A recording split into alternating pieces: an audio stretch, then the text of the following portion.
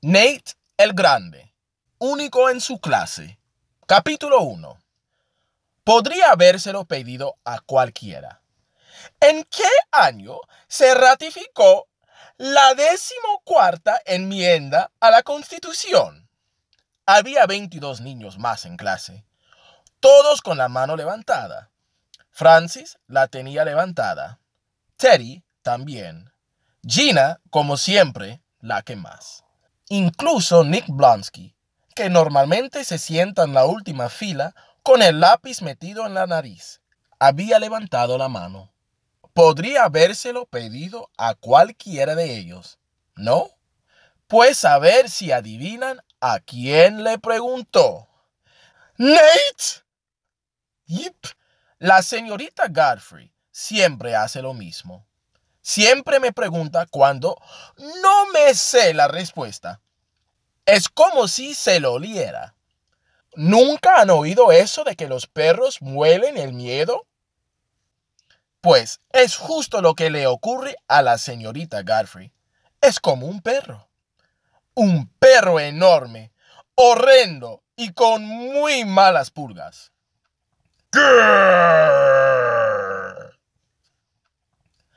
Quise escurrirme debajo de la mesa. Toda la clase me miraba. Se me empezaron a poner rojas las orejas, luego las mejillas, y la frente se me llenó de gotitas de sudor. ¿Y bien?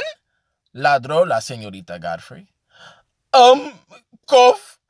Eh, ¿Puede repetir la pregunta? He oído que en un día corriente solemos usar el 10% de nuestra capacidad mental. Pues bien, estando ahí sentado, con la boca más seca que un saco de arena, necesitaba urgentemente que el otro 90% se pusiera en funcionamiento. Pero nada, mi mente seguía en blanco. La señorita Godfrey dio un paso adelante y se me quedó mirando fijamente. Parecía enojada. No, peor que enojada. Estaba a punto de estallar. Tenía la cara roja como un tomate.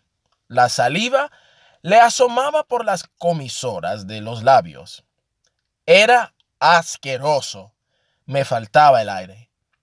Y entonces sonó el timbre. Y sonó. Y siguió sonando.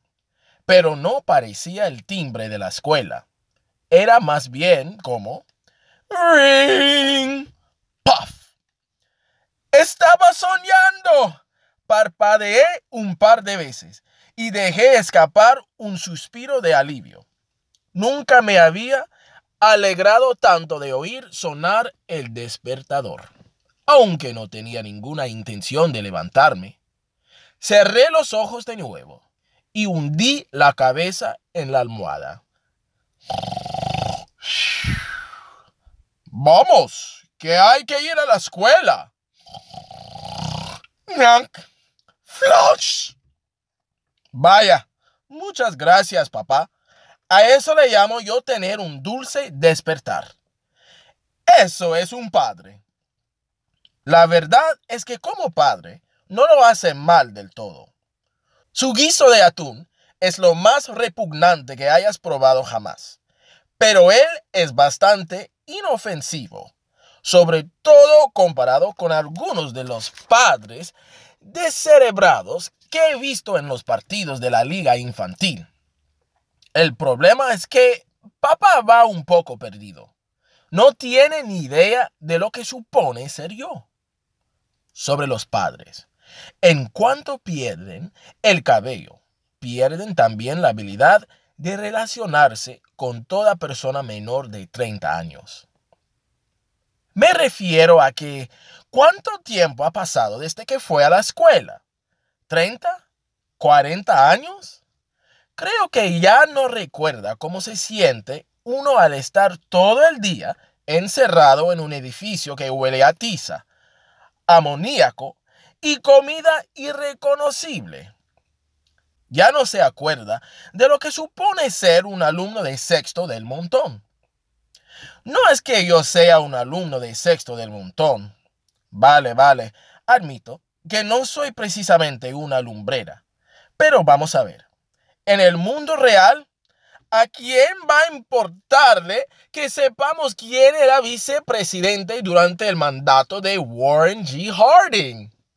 Y no finjas que lo sabes, porque no tienes ni idea. La cuestión es que no quiero desperdiciar mi talento en memorizar hechos inútiles. Yo estoy hecho para cosas más importantes.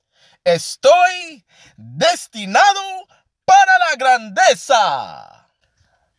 Aún no sé muy bien a qué tipo de grandeza estoy destinado, pero lo descubriré. Tengo varias opciones.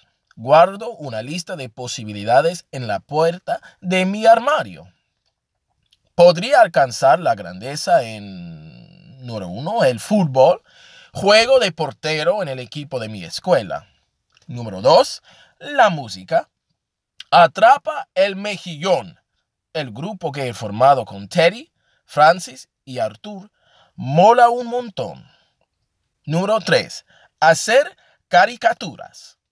Me especializo en caricaturas de profesores. El número 4. Fútbol de mesa. Soy buenísimo, pero creo que sería un modo difícil de ganarse la vida. También hay cosas en las que estoy convencido de que no alcanzaré nunca la grandeza, como por ejemplo la ópera, la natación sincronizada y el cuidado de los gatos. Bueno, con esto basta. Volvamos al infortunado hecho de que hoy es día de escuela. Pero, ¿de qué tipo? Bueno, ya saben, no todos los días de escuela son iguales. Pueden agruparse por categorías. Como ya saben, se me da muy bien eso de clasificar. Una vez me pasé una semana entera clasificando todas las meriendas que se me ocurrían. La mejor, ganchitos de queso. La peor, galletas de arroz. Sobre papá. Un año, en Halloween, papá les entregó galletas de arroz a los niños. Fue el mismo año en que alguien arrojó huevos a nuestra casa. Saca tus conclusiones, papá. Tomen, niños, pero, ¿qué? Si tuviera que poner nota a los distintos tipos de días de escuela, los puntuaría así. A más. Días de excursión. No me refiero a excursiones aburridas, como cuando, el día de la Tierra, el profesor nos lleva de paseo por el vecindario para recoger los papeles del suelo me refiero a los paseos de un día entero en los que vamos a alguna parte en autocar. Incluso esas excursiones en las que te entregan una hoja llena de preguntas con la esperanza de que aprendas algo. Siempre puedes buscar alguna excusa para no responder nada. Eso es lo que hice el año pasado cuando fuimos al acuario. B es que una morsa se comió los deberes. B. Días de acontecimientos especiales. Son esos días en que las horas de clase se emplean en algo mejor, como ver una película o acudir a una reunión de profesores y alumnos. O, aún mejor, días en los que ocurre alguna emergencia la primavera pasada, la peluca de la señorita Zerwicki empezó a arder y la alarma de humos de la sala de profesores se disparó. Tuvieron que evacuar el edificio y nos pasamos más de una hora jugando con el frisbee en el patio. Fue estupendo para todo el mundo, salvo para la señorita Zerwicki, claro. Ahora mismo debería estar en clase de mates. C baja. Días de profesor sustituto. Creo que todos estaremos de acuerdo en que los sustitutos son casi siempre mejores que los profesores de verdad. Y cuando digo mejores, quiero decir más atontados. Los mejores sustitutos son los que acaban de salir de la universidad y no han dado una clase en su vida. La verdad es que no son muy listos. O tal vez es que son muy ingenios. Es que ingenio no está en el diccionario. Ah, ¿no? Pero sí, el señor Galvin siempre nos deja comer chicle en clase. Vale, ok, ok. D. Días normales. Por desgracia, estos son los días que más abundan.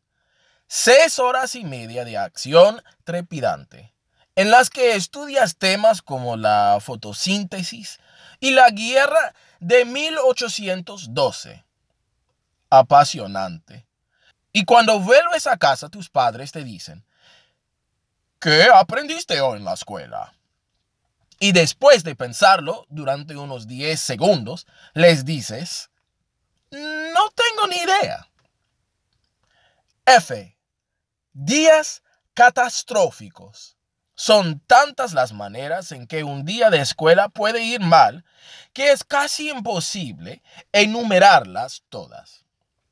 Puede que un profesor, normalmente la señorita Godfrey, te eche la bronca sin razón, cosa que a mí me pasa muy a menudo.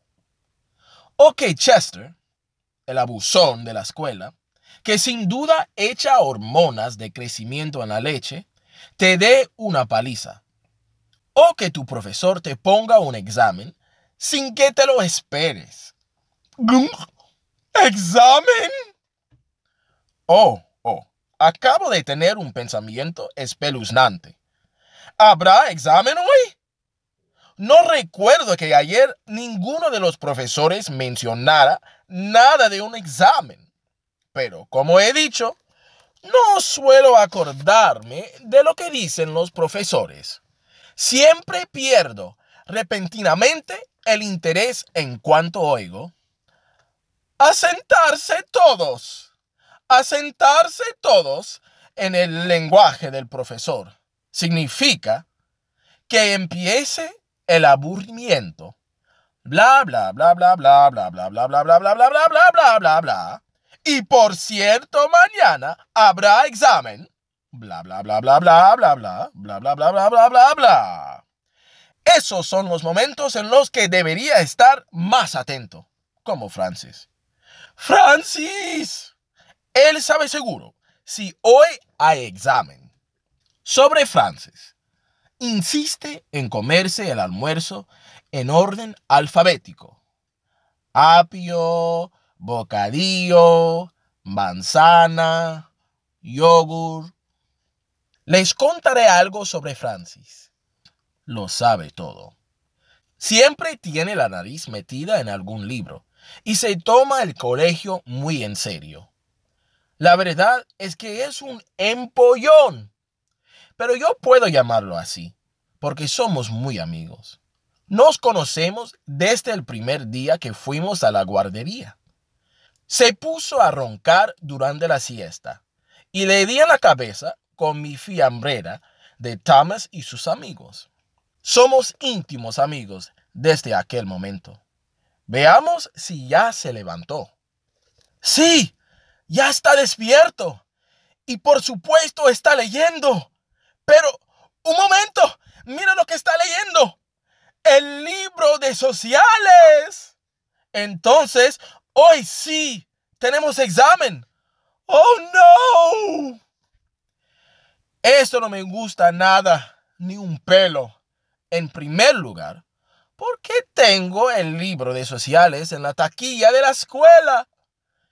Y en segundo lugar, ¿por qué acabo de recordar lo que me dijo la señorita Garfi tras el último examen? Nate, si el próximo examen es como este, es muy probable que acabes en la escuela de verano.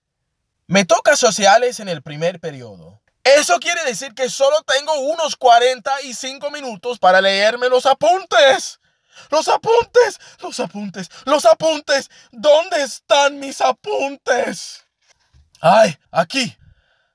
Están. Oh, oh. Vaya. Parece que mis apuntos no van a serme de mucha ayuda. A no ser que la señorita Garfield decida subirnos la nota por garabatear. Este es el fin. Rest in peace, Nate Wright. Nate, el Grande, único en su clase. Capítulo 2. El desayuno es la comida más importante del día. ¿Se han fijado en que eso lo dicen siempre justo antes de plantarnos un bol de copos de avena lleno de grumos delante de las narices? Cómetelo todo. Por favor, que los grumos estos sean pasas. Ahora mismo mi padre no para de hablar acerca de lo mucho que cambió su vida cuando decidió seguir una dieta rica en fibras. Pero la verdad es que no lo estoy escuchando. No puedo dejar de pensar en ese examen de sociales que podría mandarme a la escuela de verano. Escuela, verano. Dos palabras que no casan. En realidad no tengo ni idea de cómo es la escuela de verano. Francis dice que probablemente es como la escuela normal, solo que se pasa más calor. Escuela pública 38. Temperatura de hoy 97 grados. Pero otros niños dicen que en la escuela de verano los profesores te hacen trabajar de lo lindo y no se refieren a rellenar cuadernos de trabajo. Se trata más bien de eliminar los restos de pegamento de las mesas y limpiar el lavado de los chicos cosa que espero que no sea cierta, porque siempre están hechos un asco. La verdad es que suena fatal. Y cuando termines con esto, le sacas brillo a mi auto. El único niño que conozco que ha ido a una escuela de verano es Chester. Supongo que podría preguntarle a él. Claro que la última vez que traté de preguntarle algo, me metió dentro de un cubo de basura. Está un poco loco. Mantén limpia la escuela. Solo le pregunté si podía prestarme un lápiz. El caso es que ir a la escuela de verano no puede ser nada bueno. No creo que haya nada peor. De pronto, en el momento justo, entra Ellen. Buenos días, papá. ¡Mua! ¡Mmm! Copos de avena. Vale. Rectifico si hay algo peor. La escuela de verano solo dura ocho semanas. Una hermana de 15 años es para siempre. O al menos hasta que cumpla 16. Que probablemente será aún peor. Flick, sal de mi silla. Aunque, para ser odiosas, las hermanas no tienen por qué ser adolescentes. Ya nacen así. Si tienen una hermana mayor, saben muy bien a qué me refiero. Lo habrán vivido. Compartirán mi dolor. Si no tienen una hermana mayor, Felicidades y bienvenidos a mi pesadilla. Sobre Ellen. Cada pocos meses decide que no le gusta cómo se ríe, así que se ríe de otro modo. Ja, ja, ja, ja, No, así tampoco. Las cinco cosas más irritantes de Ellen. 5. No para de pedirle a papá que le compre una gata. La llamaremos Kitty. 4. Este se llama mofeta muerta. Todos los perfumes que lleva huelen a esas tiendas de regalos donde venden velas perfumadas. 3. Cuando cumplió 12 años, le regalaron un karaoke y aún no ha superado esa etapa. El amor es algo maravilloso. Que alguien me pegue un tiro. 2. ¿A quién le importa el calentamiento global? Sus productos de belleza son los culpables de la destrucción de la capa de ozono. 1. Soy el único que se da cuenta de lo odiosa que es. Adulto ingenuo. Ellen, eres maravillosa. Sí, lo sé. ¿Saben qué otra cosa no puedo soportar de Ellen? Que no tiene ese tipo de problemas. Nunca he tenido que preocuparse por la escuela de verano, porque siempre ha sido una buena estudiante, cosa que alguien me recuerda prácticamente cada día. ¿Por qué no podrías parecerte más a tu hermana? Exacto, como si ese fuera el objetivo de mi vida, parecerme más a una animadora de fútbol. Gracias, pero no. ¿Qué? Ay, papá está hablando otra vez. Vamos, cuéntenme, ¿cómo va el colegio? Pronto nos darán las notas. Sé que salí súper bien y además he hecho una... Bla, bla, bla, bla, bla. Nota para mí mismo. Añadir. Y no hay quien la haga callar a la lista de cosas insufribles de Ellen. ¿Y a ti cómo te va, Nate? A mí, eh, bien, muy bien. Como siempre. Nada de exámenes, ni esas cosas. Todo normal. Hmm, me parece que no se lo ha tragado. Veo la mirada en sus ojos. La mirada. Primer nivel de sospecha de papá. Significa que no está del todo seguro de que esté siendo sincero con él. Ojos entornados.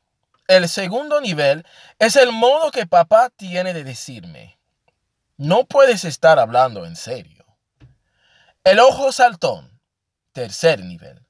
Cuando papá te mira con un ojo saltón, cuidado. Está a punto de ponerse hecho una furia.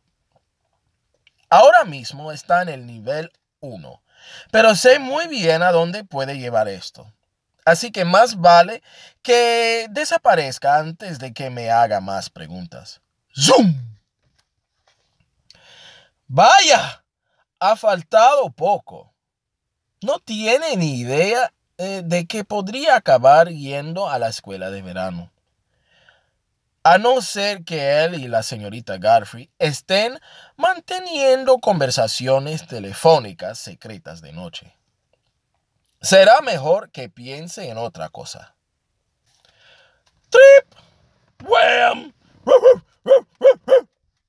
Estupendo sitio para echar una siesta, Spitzy.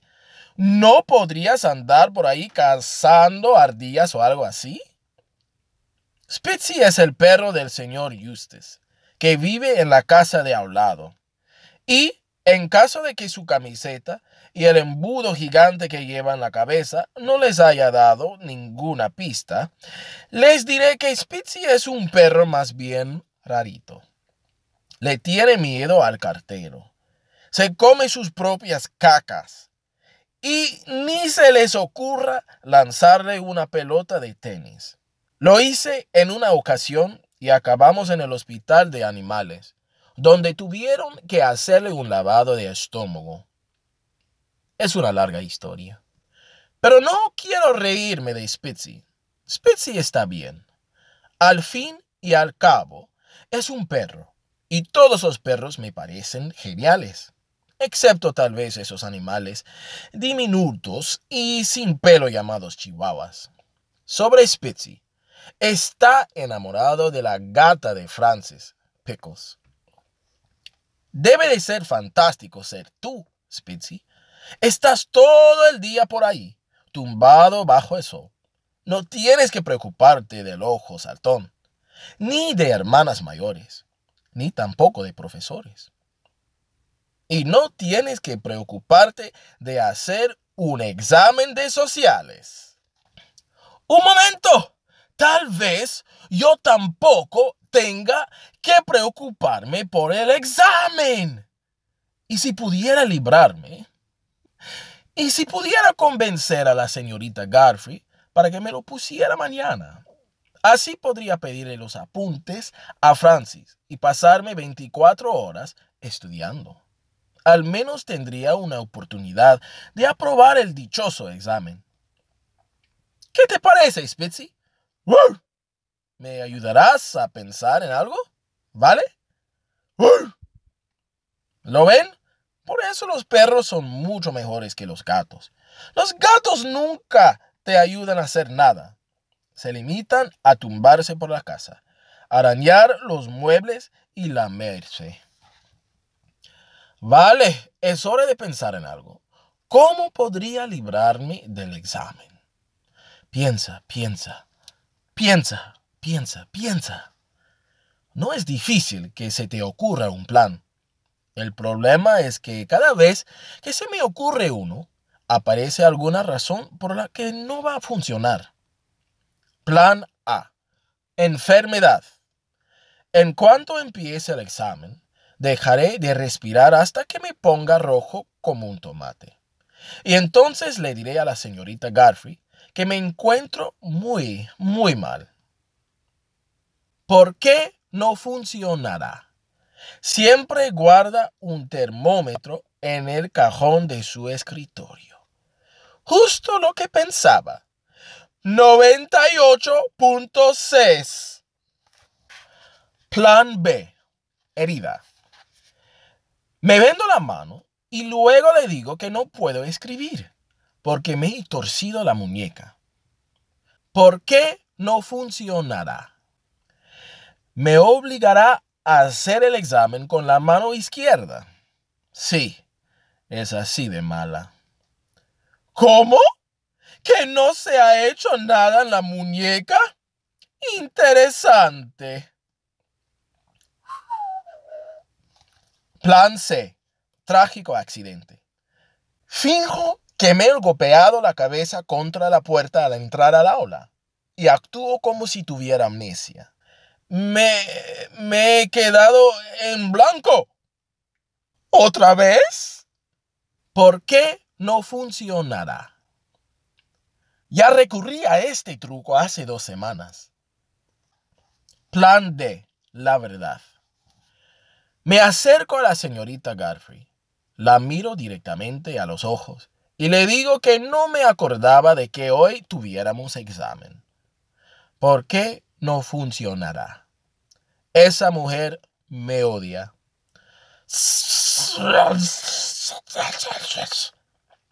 Zona escolar.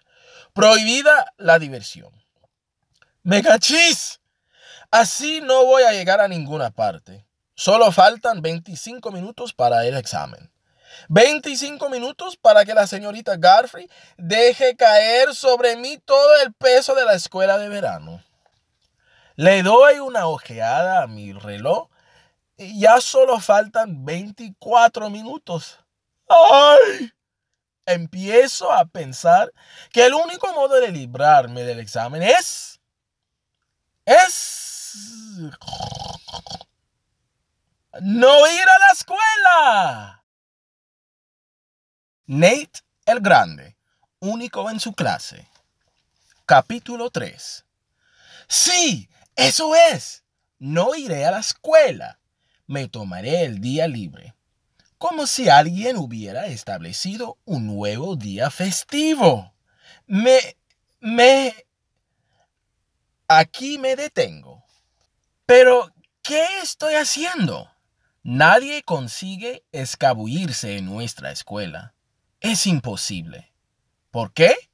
Les diré solo dos palabras. La máquina no es una máquina de verdad. como esa con la que el empleado de la limpieza pule los suelos. La máquina es algo que no se puede ni ver ni tocar, pero está ahí. La máquina te observa, sabe cada uno de tus movimientos, y si no estás donde se supone que deberías estar, te localiza. Así es como funciona. 1. El diagrama de los asientos. Los profesores siempre nos dicen dónde sentarnos. Aseguran que así les resulta más fácil recordar nuestros nombres. Ya como si les importara mucho saber cómo nos llamamos.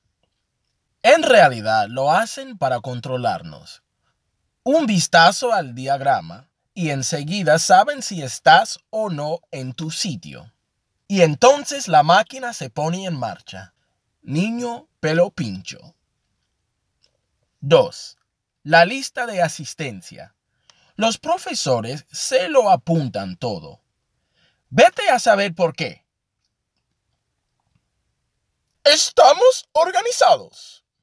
Están obsesionados con el control. Antes de empezar la clase, siempre pasan lista. Si no estás en tu asiento, ponen una enorme X roja junto a tu nombre. Felicidades, no estás. 3. El ayudante de la maestra.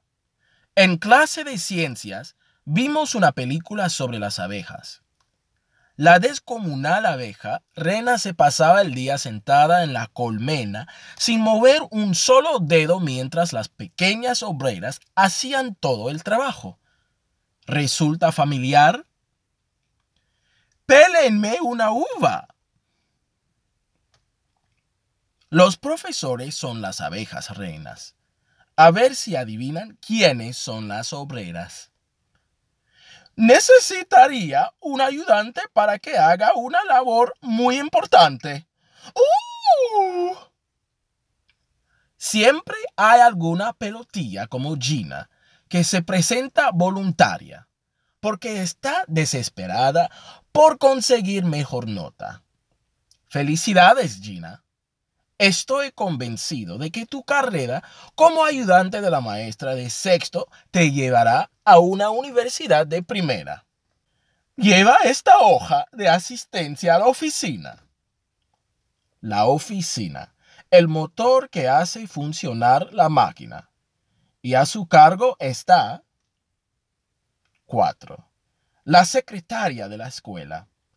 La señorita Shepolsky tampoco es tan mala. No es culpa suya que la obliguen a controlar la existencia. Ni tampoco la culpo por las innumerables veces que me ha dicho, Nate, el director quiere verte. A pesar de ser ya mayor, es muy rápida repasa las listas de asistencia en un abrir y cerrar de ojos. Y en cuanto ve una de esas X rojas junto a tu nombre, ya está marcando el número de tus padres. Nate no ha venido hoy. ¿Qué? Pues eso, así es como funciona la máquina.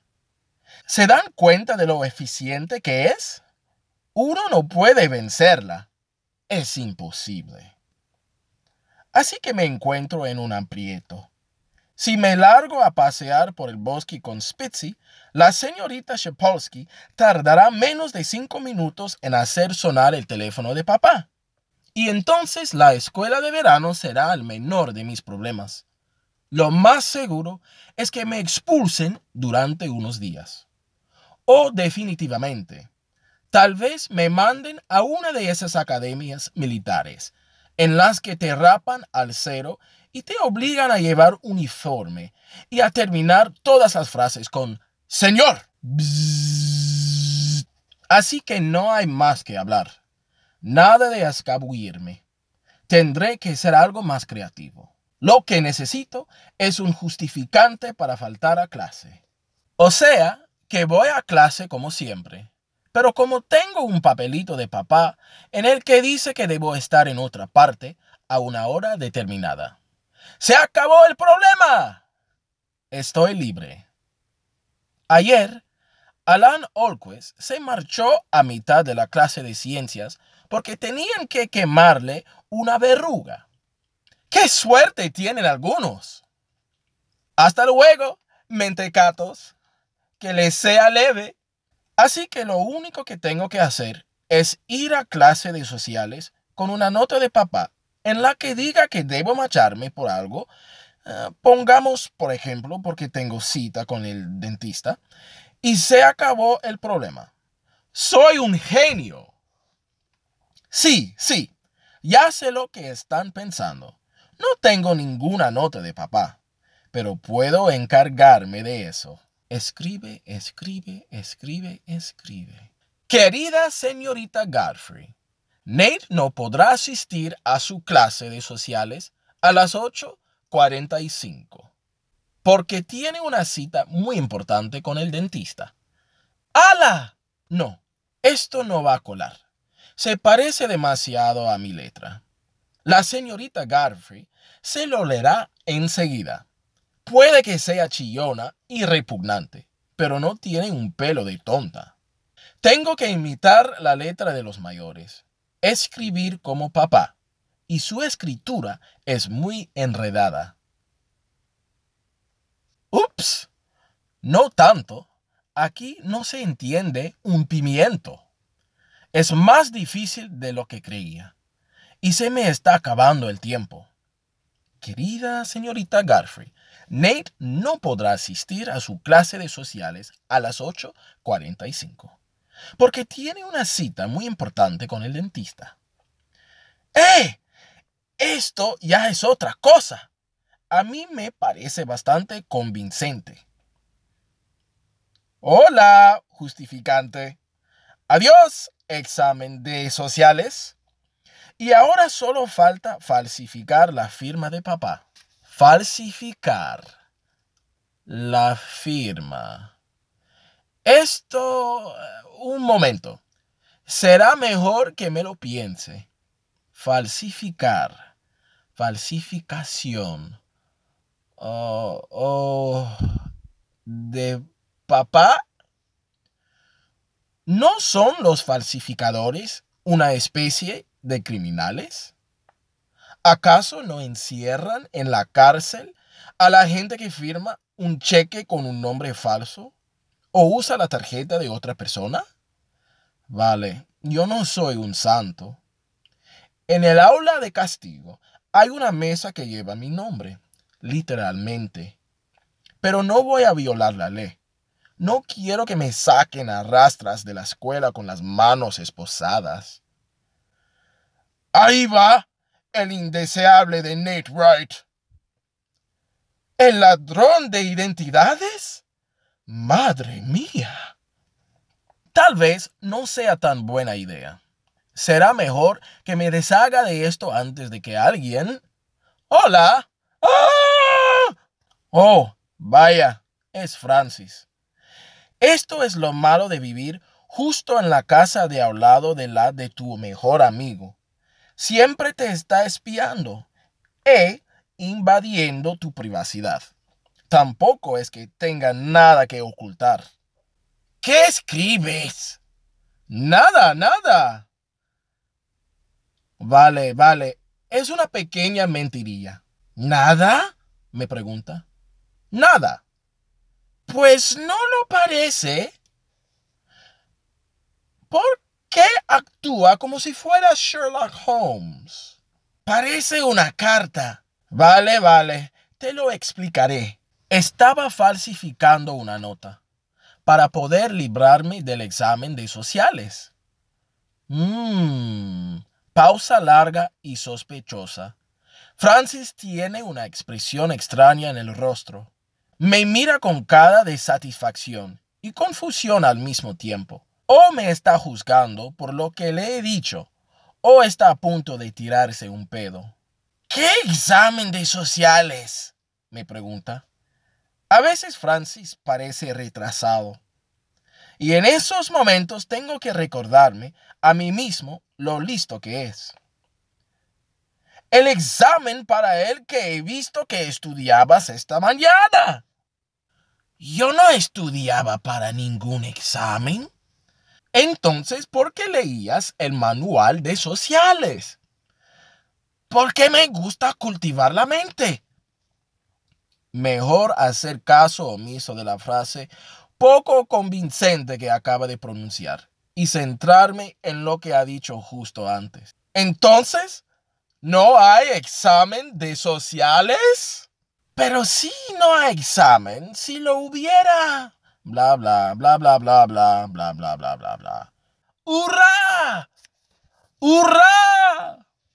En realidad, me dice Francis con ojos soñadores, me habría gustado tener examen de sociales hoy.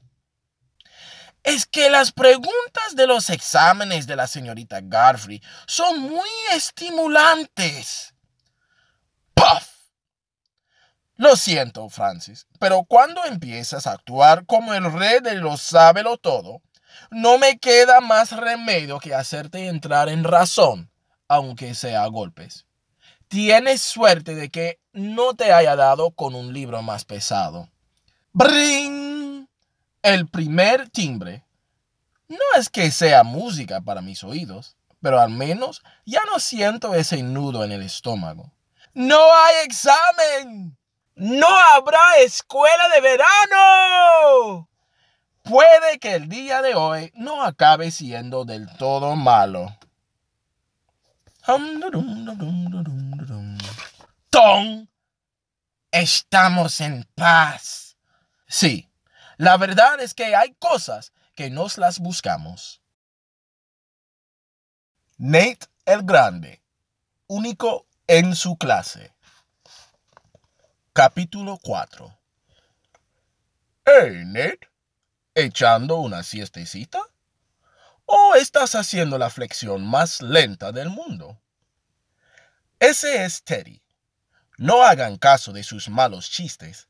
Es lo que yo hago siempre. Teddy es mi otro mejor amigo. Francis es el número uno, porque hace más que lo conozco.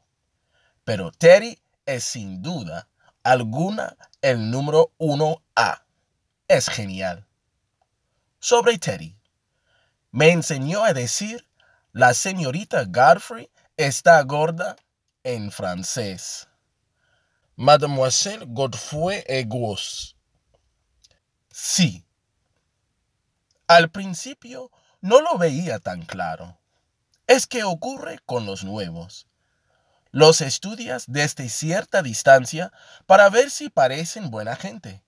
No quieres mostrarte súper amistoso con ellos enseguida, porque ¿y si luego resultan ser unos tontos?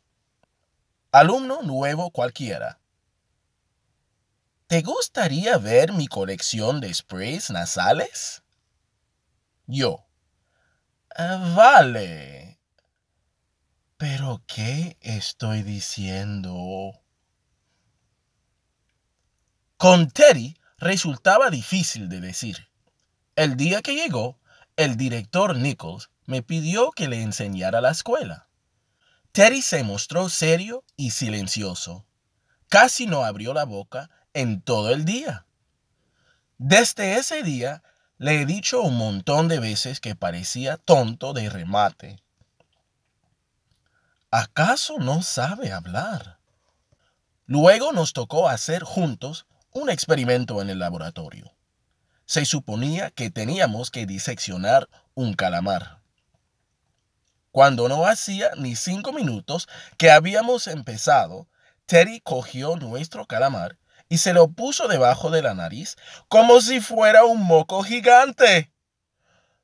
¿Alguien tiene un pañuelo? Fue para troncharse. Me partía de risa.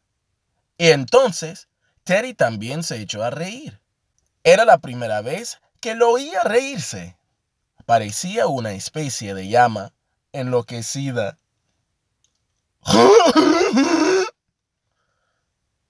cielos, no podíamos parar. Nos reímos tanto que se nos cayó el calamar al suelo. Y Mary Ellen Papowski lo pisó. Y entonces nos dio un ataque de risa aún mayor.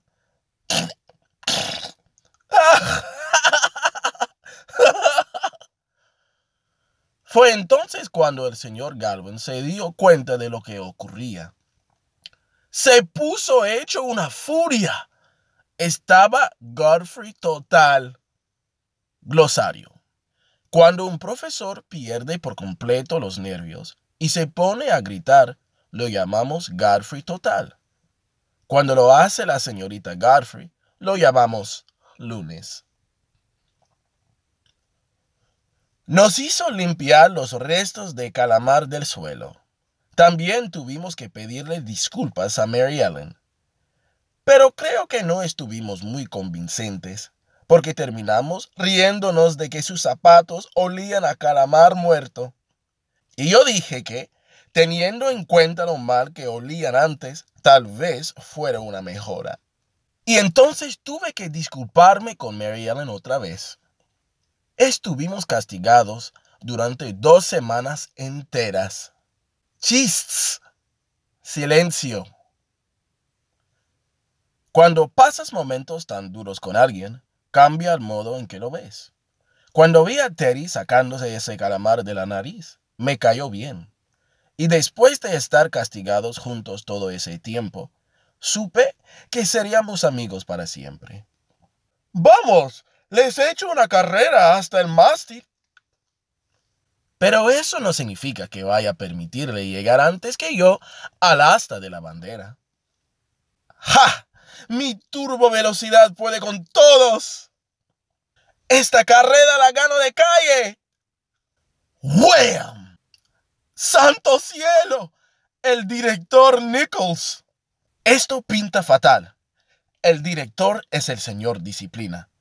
No soporta que nadie ande corriendo por los alrededores de la escuela. Y va y choco con él cuando se dirige al edificio. Cuidado, está a punto de estallar. Ah, lo siento, Nate. No miraba por dónde iba.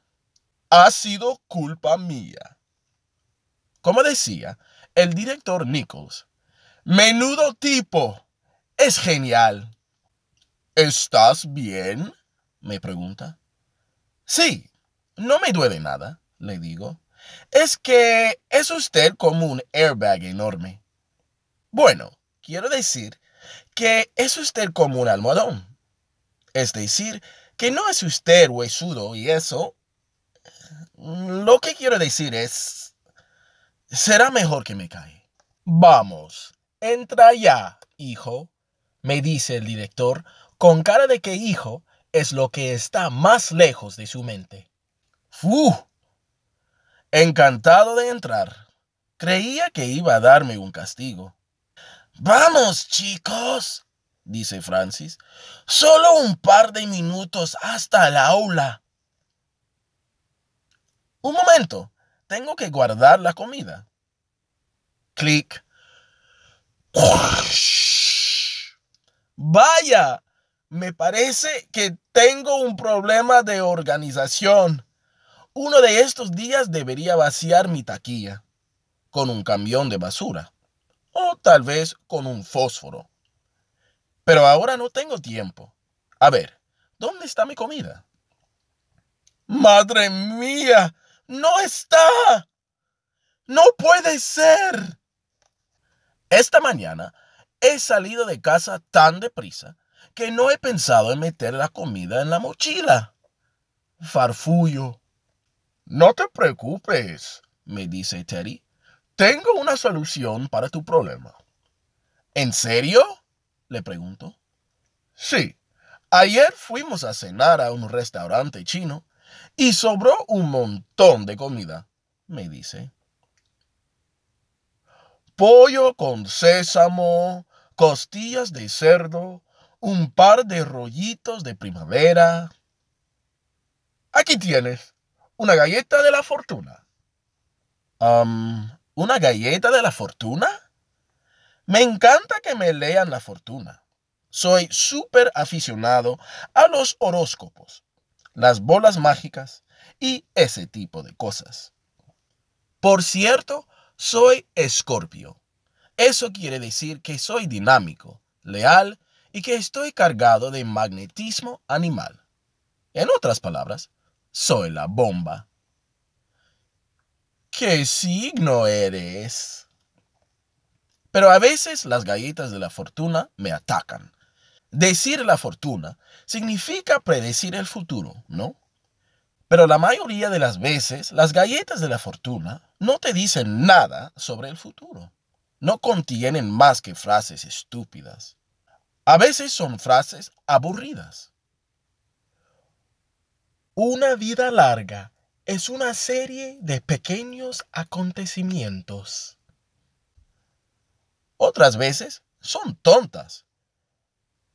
Hoy cabello, mañana nada. Crunch, crunch. Además, estas galletas saben a plástico. Y, en ocasiones, como aquella vez que Ellen, papá y yo fuimos a Pupupanda, carecen de sentido. Esa frase era tan rara que incluso escribí un cómic inspirándome en ella. Tomen, niños, galletas de la fortuna. ¡Uh! La mía dice, tus deseos se cumplirán. ¡Yuhu! Y la mía dice, ¿qué? ¿Una vela apagada no asusta a los monos? ¿Qué significa? ¿A quién le importa? Lo importante es que mi fortuna es buena. Tal vez nunca lleguemos a saber lo que significa, Nate. Y nunca lo supimos. Menudo timo. Supongo que pensarán que tengo una relación amor-odio con las galletas de la fortuna. Casi nunca encuentro frases buenas. Pero, a pesar de ello, me muero por leerlas. ¡Wow! Vaya, a eso sí lo llamo fortuna. Hoy superarás a todos los demás. Nate, el Grande, único en su clase. Capítulo 5. Estoy de excelente humor cuando entro al salón principal no por el salón en sí. Solo los empollones se emocionan con eso. Esta es la mejor parte del día. ¿Ven?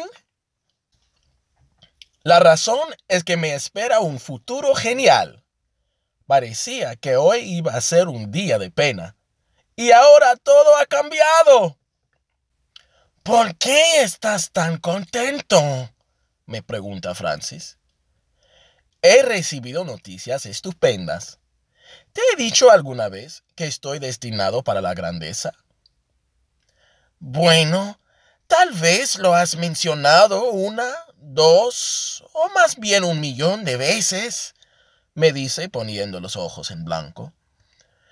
Pues aquí tienes la prueba de que será así, le digo, entregándole el mensaje que he encontrado en la galleta de la fortuna. Francis lo lee, pone esa típica cara de extrañido que quiere decir, no estoy seguro de esto. Hoy superarás a todos los demás, dice. ¿No superarás? ¿En qué? Hmm. Soy un hombre de múltiples talentos, le digo. Puede ser en cualquier cosa. Francis me devuelve el mensaje y con una sonrisa burlona me dice, en cualquier cosa, ¿no? Ya puedes descartar el éxito académico. ¡Zwack! Muy gracioso, Francis. Solo por esto puede que no estés en mi grupo de amigos cuando sea rico y famoso.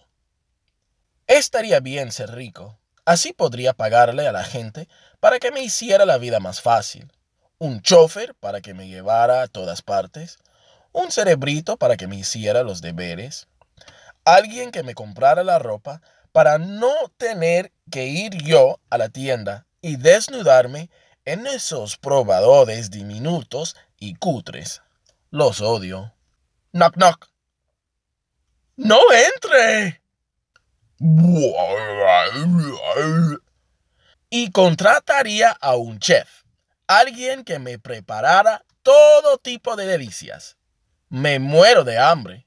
Lo único que tengo en el estómago son un par de cucharadas de copos de avena grumoso. Hmm. ¿Y si me como esta galleta de la fortuna? Algo es algo. Crunch, crunch, crunch, crunch, crunch, crunch. Señorita Godfrey, Nate está comiendo algo. Gina. Oh, cuánto la odio. ¿Es eso cierto, Nate? La voz de la señorita Godfrey me llega directa como una flecha mientras la veo levantarse de la silla.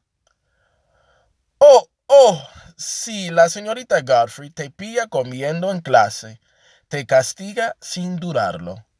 Menudo fraude. Teniendo en cuenta que guarda un frasco de mantequilla de cacahuete en su escritorio. No me pregunten cómo lo sé. Tengo mis métodos. ¡Ay! Se acerca a toda prisa. Vamos, vamos, mastica. Ñom, ñom, ñom, ñom, ñom, ñom, ñom. Engulle, ahora. Fiu, justo a tiempo. Me he tragado las últimas migas medio segundo antes de que se plantara en mi escritorio. ¡Abre la boca! Ah. Hmm dice escrutándome largamente con la mirada.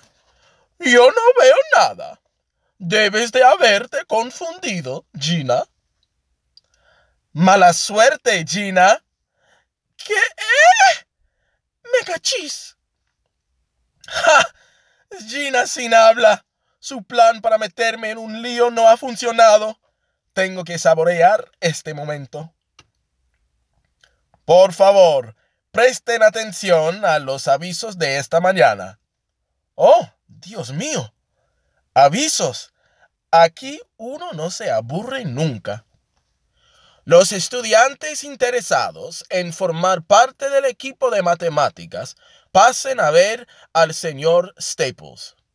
Claro, porque no tengo aún bastantes matemáticas en mi vida. El menú de hoy es estofado de res, habichuelas verdes, pan de maíz y fruta. Y las cuatro cosas saben exactamente igual. Si pasan hoy por la biblioteca, deseenle feliz cumpleaños a la señorita Hickson. Cumple 39. En años de perro. Gracias y que pasen un buen día. Listo. Se acabaron los avisos. Entonces, ¿por qué sigo aquí sentado? ¿Por qué inmediatamente después viene la clase de sociales con la señorita Godfrey? Menudo modo de empezar el día. Ahora entiendo de dónde viene la expresión tener un duro despertar. Después de sociales, la cosa no hace sino empeorar. He aquí el resto de mi día. Segunda hora, inglés. La señorita Clark no está mal, pero ¿no debería alguien que enseña idiomas decir algo con sentido alguna vez? Siempre y cuando introduzca una interrogativa directa, pero cuando la subordinada es una interrogativa indirecta, ¿lo que significa? Tercera hora. Arte. Esta es mi clase favorita. El señor Rosa está tan quemado que ni siquiera se molesta en planificar las clases. Eso es enseñar. Aquí tienes arcilla. Diviértete. Cuarta hora. Comida.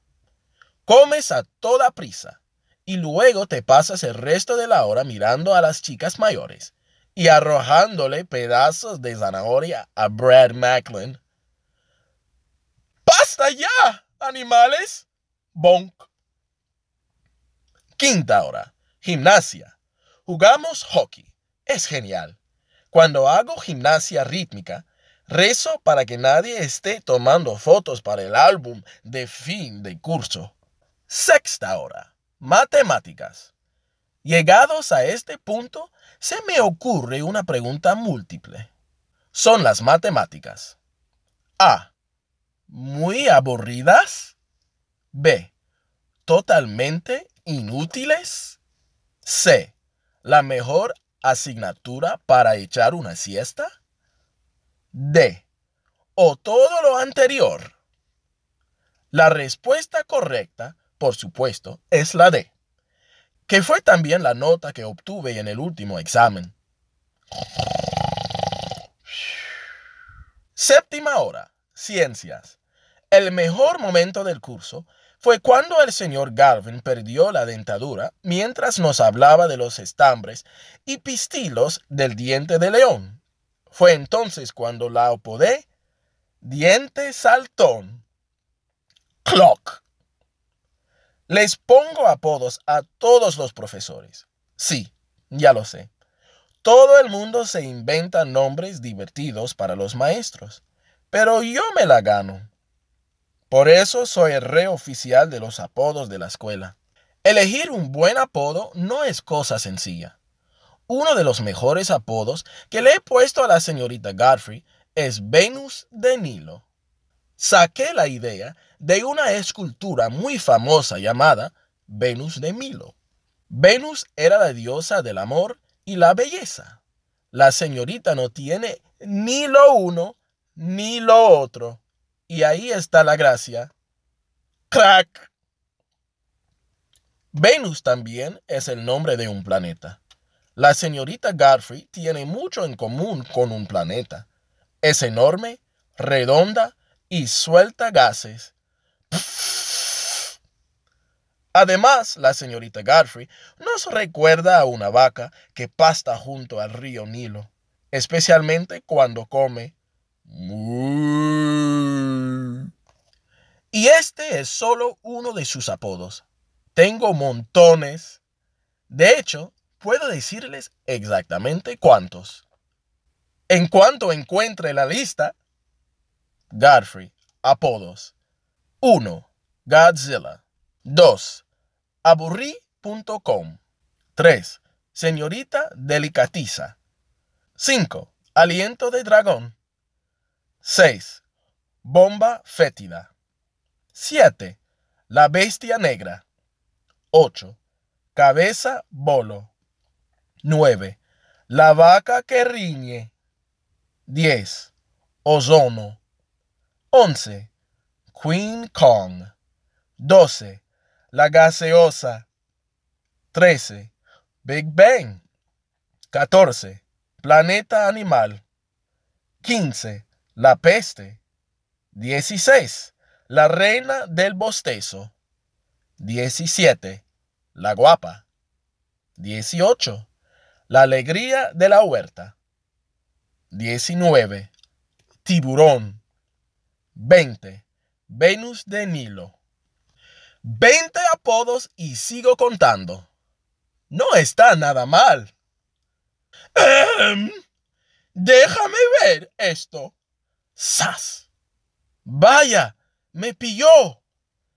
Se queda mirando la lista durante una eternidad. Se pone roja y luego blanca. Se ve claramente que está apretando las mandíbulas. Es peor esto que sus gritos. Y al final se dispone a hablar. Estoy impresionada.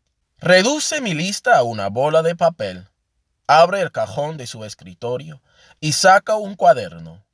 No es la primera vez que veo ese cuaderno. Escribe algo. Arranca la hoja y luego me la entrega. Descubro una leve sonrisa en las comisuras de sus labios. Pero Aparte de eso, su expresión es severa. Entrégale esto a la señorita Zerwicki cuando acaben las clases, me dice. Nota de castigo. Estudiante, Nate Wright. Profesora, C. Godfrey. Motivo del castigo. Insolencia. ¿Insolencia? digo en voz alta. ¿Y eso qué es? Aquí tienes un diccionario, gruñe la señorita Godfrey. Búscalo. Bump. Puff. Flip, flip, flip, flip, flip, flip, flip, flip, flip. Seguro que no quiere decir destinado para la grandeza. Nate, el grande, único en su clase. Capítulo 6. Insolencia. Del latín. Insolencia. 1. Femenino. Comportamiento desdeñosamente grosero o impertinente. 2. Femenino. Cualidad o condición de ser insolente. O sea que resulta que básicamente insolencia significa comportarse como un crío odioso, les digo a Francis y a Terry mientras nos dirigimos a clase de inglés.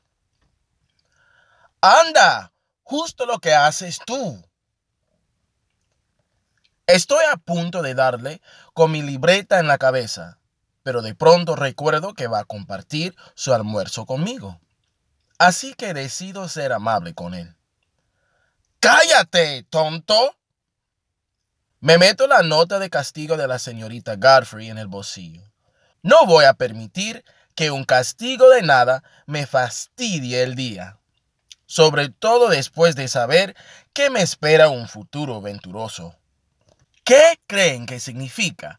Superarás a todos los demás. Pregunto. Probablemente que agarraste la galleta de otro por error, dice Teddy entre risas. ¿Por qué se divierten a costa mía? un momento, un momento. No solo dice superarás a todos los demás, corrige Francis. Dice, hoy superarás a todos los demás. Hmm, tiene razón. Así que la fortuna llegará durante las clases. En casa, los únicos demás a los que puedo superar son... Y entonces Cindy me dijo que creía que yo le gustaba a Tommy, pero... Bla, bla, bla, bla, bla.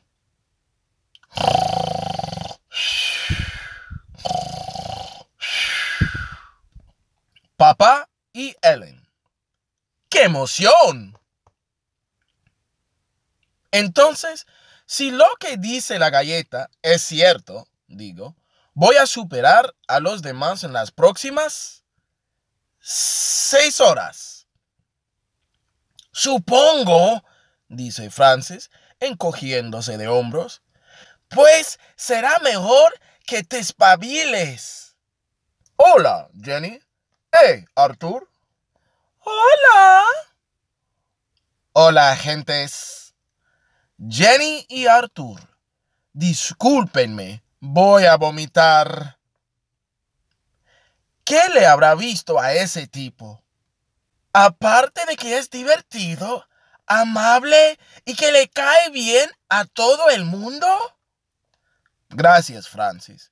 Y no te cortes, di lo que piensas. Y por cierto, no le cae bien a todo el mundo. Yo no soy precisamente presidente del club de fans de Arthur. No es que sea un idiota rematado, ni nada de eso. Es solo que no puedo soportar que se le den bien tantas cosas. Las mismas cosas que se me dan bien a mí. Es súper irritante. Las cosas eran mucho mejores antes de que llegara Arthur. Sobre Arthur, no habla muy bien nuestro idioma, cosa que por alguna extraña razón les encanta a las chicas. Hasta lo visto. ¡Ay! Es súper mono. Antes de Arthur, era el jugador número uno del equipo de ajedrez. ¡Jaque mate! Expresión de asombro. Después de Arthur, él me desbancó al segundo lugar. ¡Oh! Buena partido, Nate. Antes de Arthur, el único cómic que se publicaba en el periódico de la escuela era el mío. Doctor Cloaca, Nate. Después de Arthur, ahora tengo que compartir espacio con la tira de Arthur. Gato Pardo. Burp. Que es una copia de Garfield antes de Arthur. Era el líder de Atrapa al Mejillón. ¡Empezamos a roquear! Después de Arthur. A ver si adivinan qué pasó. ¡Uh! Mi dulce amor. Balada cursi. Así que todo el mundo piensa que Arthur es el Señor maravilloso. Eso puedo soportarlo. Pero cuando él y Jenny empezaron a salir juntos, eso me mató. Sobre Jenny. Jenny y Arthur llevan saliendo cuatro meses, seis días y tres horas y media. Pero, ¿a quién le interesa? Conocí a Jenny en primero y me gusta desde entonces. Y estoy convencido de que en el fondo yo también le gusto, aunque actúe como si me odiara. Siempre había estado totalmente seguro de que algún día formaríamos una pareja estupenda. Y entonces apareció Arthur. Y, en un abrir y cerrar de ojos, empezaron a actuar como si fueran Romeo y Julieta es asqueroso, vomitivo.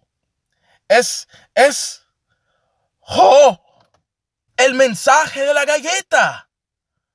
Hoy superarás a todos los demás. ¿Y si se refiere a Jenny? Tal vez el mensaje quiere decir que superaré a Arthur.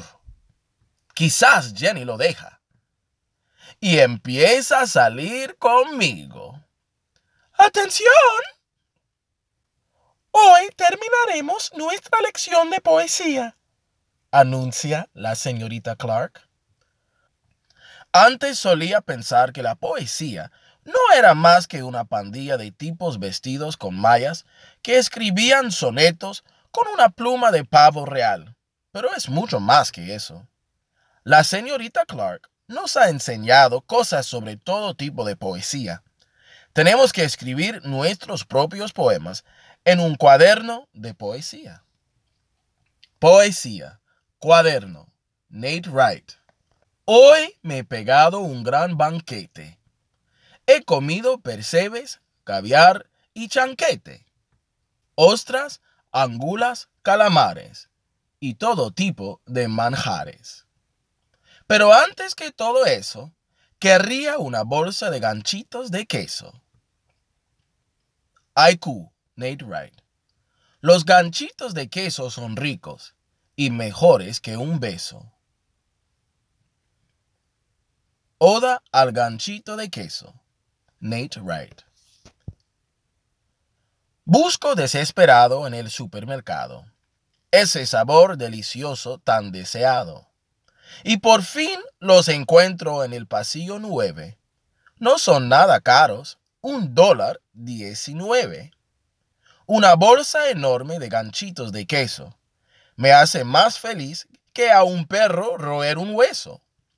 Qué bien me siento cuando me llevo a la boca un ganchito de queso. Menuda, bicoca. El gusanito amarillo y su sabor genial son una cena y una comida sin igual. Y nunca jamás me cansaré de repetir que estar sin ganchitos de queso es un sin vivir. Nate, el grandioso, asombroso, maravilloso, esplendoroso, fabuloso, glamuroso, gracioso, ingenioso. Ya.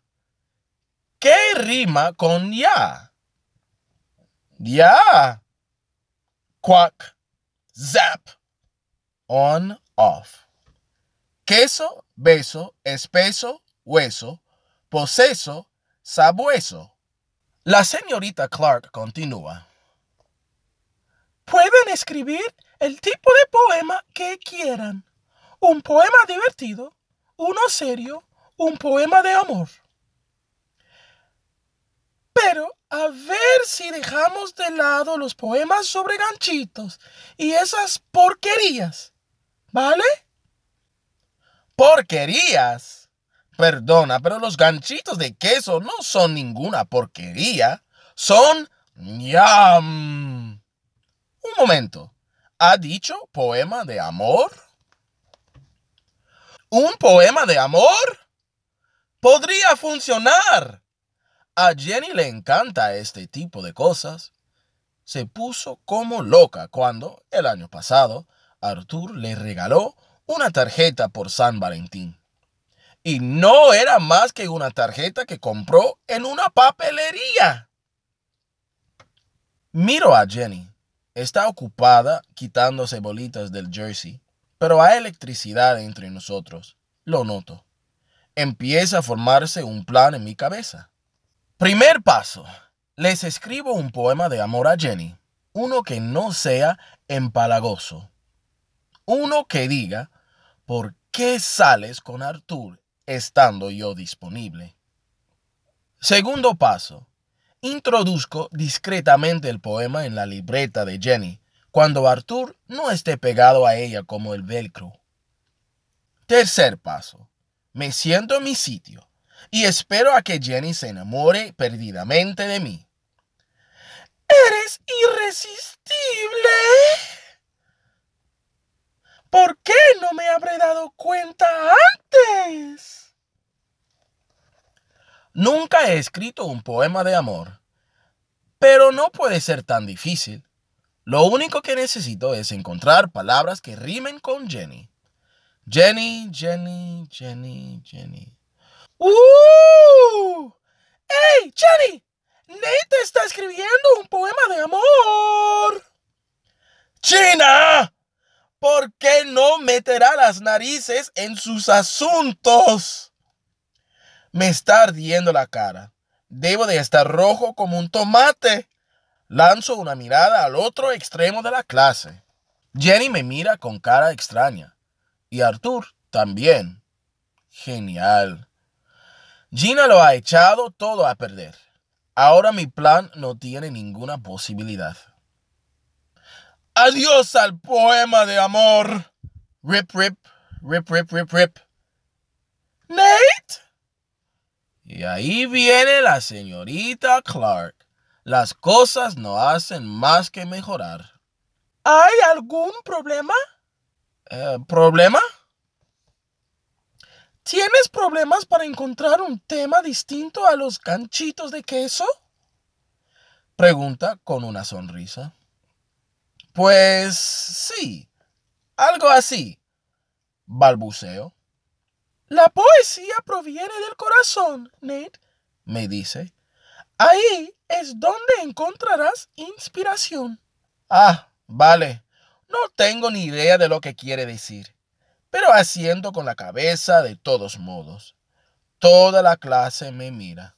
Bueno, ¿podríamos continuar con la clase? Y entonces lo oigo.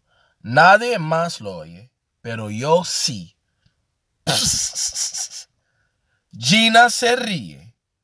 Le lanzo una mirada. Está apoyada en su silla. Tiene una sonrisa odiosa plantada en la cara. Estoy quedando como un tonto delante de todo el mundo, incluida Jenny. Y Gina disfruta de lo lindo. Ella lo ha provocado. Todo esto es culpa suya. La sangre me golpea las sienes y aunque la señorita Clark dice algo, apenas la oigo. ¿Y bien, Nate? ¿Qué dice tu corazón? ¿Qué me dice mi corazón? Me dice que Gina debería mantener su bocaza cerrada. Ups. Nate, el grande, único en su clase. Capítulo 7 Te lo preguntaré sin tapujos, me dice Francis al salir de clase de inglés. ¿Es Gina la única que debería mantener la bocaza cerrada? pues debería haberla cerrado, refunfuño enseñándole la hojita rosa que acaba de entregarme la señorita Clark. ¿Cómo es posible que a mí me castiguen y a ella no le digan nada? China nunca se mete en problemas, dice Francis. Mete a los demás en problemas. ¿En serio? ¡Qué observador! No lo había notado. ¿Me dejas verla? Terry coge la nota de castigo que dice, razón del castigo, molestar en clase e insultar a una compañera. Francis asiente con la cabeza y dice que ha sido bastante insultante. ¿Bromeas? le digo. Eso no ha sido nada. Puedo ser realmente insultante. Por ejemplo, podría decirle a Terry, tu madre es tan gorda que cuando se sube a un ascensor siempre va hacia abajo. Tu madre es tan peluda que tiene que afectarse la frente. Cuando la cosa ya está a punto de salirse de madre, Francis nos interrumpe. ¡Hey chicos! señala con el dedo. ¡Miren! Miro al otro lado del pasillo. ¿Y qué es lo que veo? A Luke Bertrand y Amy Wexler dándose un beso de tornillo. Slurp, slap, slap. A Matt Grover tirándole de los calzoncillos a Peter Hinkle. Yank. Y veo a esa niña tan rara cuyo nombre no logro recordar, escribiéndose en el brazo. Los unicornios son hermosos. Los chicos apestan. En otras palabras, todo parece normal. ¿Qué se supone que tenemos que mirar? Le pregunto a Francis. ¿A ti qué te parece? La vitrina, dice. Nuestra escuela tiene dos vitrinas. En la que está fuera del despacho del director Nichols hay todo tipo de trofeos polvorientos, medallas y fotos antiguas del equipo de básquet. ¿Qué pasaba con los uniformes? Parece que los jugadores fueran en ropa interior. AP 38 contra Durham 1950. Pero la otra vitrina es genial. Es donde el señor Rosa expone los mejores trabajos artísticos de sus estudiantes. Siempre elige el trabajo de su estudiante para colocarlo en la vitrina central. En la parte superior hay un cartel que dice, bajo el reflector. Si estás bajo el reflector, es como si el señor Rosa le estuviera diciendo a todo el mundo, este es el mejor artista de la escuela. Yo. ¡Eh! ¿Podría hacer eso? Si alguno de mis trabajos está bajo el reflector, significará que la galleta de la fortuna estaba en lo cierto. Habré superado a todos los demás. Corro apresuradamente hasta la vitrina. Seguro que mi escultura del pingüino está ahí. No, solo hay dibujos. Sí, dibujos sin interés.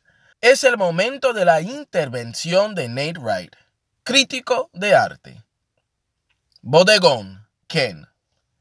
Buen intento, Ken, pero probablemente deberías hacer trabajos en madera. Ponis saltarines. Amanda. Siento el jarro de agua fría, Amanda, pero parecen unas salchichas con patas. Retrato de mi mano. Tammy K. No sé qué decirte de esta mano, Tammy, pero puedo asegurarte que la otra no sabe dibujar demasiado bien. Y mira quién está bajo el reflector. Otra vez, exclamó. El mes pasado ya estuvo en la vitrina central. Viejo zapato, Arthur. Bueno, tienes que admitirlo, dice Teddy, pegando la nariz al cristal. Es un dibujo bastante bueno. No está mal, digo con cierto desprecio. ¿Que no está mal? protesta Francis. Es como un joven Picasso. Ah, sí. ¿Desde cuándo Picasso se hizo famoso dibujando zapatos? ¡Eh! Es el hombre del momento. Un dibujo genial, Arthur. Muchas gracias. Sí, sí. Arthur le cae bien a todo el mundo.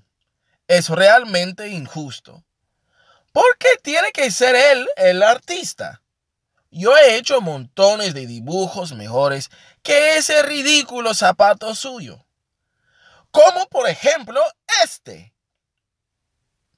Almuerzo. Nate. Fíjense, mi dibujo lo tiene todo. Acción, suspense, posible derramamiento de sangre merece estar bajo el reflector tanto como el dibujo de Arthur. Tendré que presentar una queja oficial. Muy bien, chicos. Empecemos la... Señor Rosa, tengo una pregunta sobre la vitrina. Nate, ahora mismo no tengo tiempo para peticiones fútiles. ¿Qué? Peticiones fútiles. Peticiones fútiles. ¿Qué significa fútiles? Déjalo ya, Nate. Se supone que ahora debemos hacer una cabeza de títere. ¿Una cabeza de títere? ¿Se supone ahora debo concentrarme en hacer una cabeza de títere? Esto es el colmo. Echo un vistazo a la puerta. La vitrina está a unos pocos metros. Si el señor Rosa no cuelga mi dibujo en esa dichosa vitrina, lo haré yo. Arte. No se puede salir del aula sin permiso. Francis está absorto leyendo las instrucciones para hacer la cabeza de títere. ¿Cómo hacer una cabeza de títere? Primer paso. Hinchar un globo y hacerle un nudo bien fuerte. Segundo paso. Mojar tiras de papel de periódico en la pasta. Pasta. Tercer paso. Recubrir el globo con las tiras del papel mojado. Dejar secar.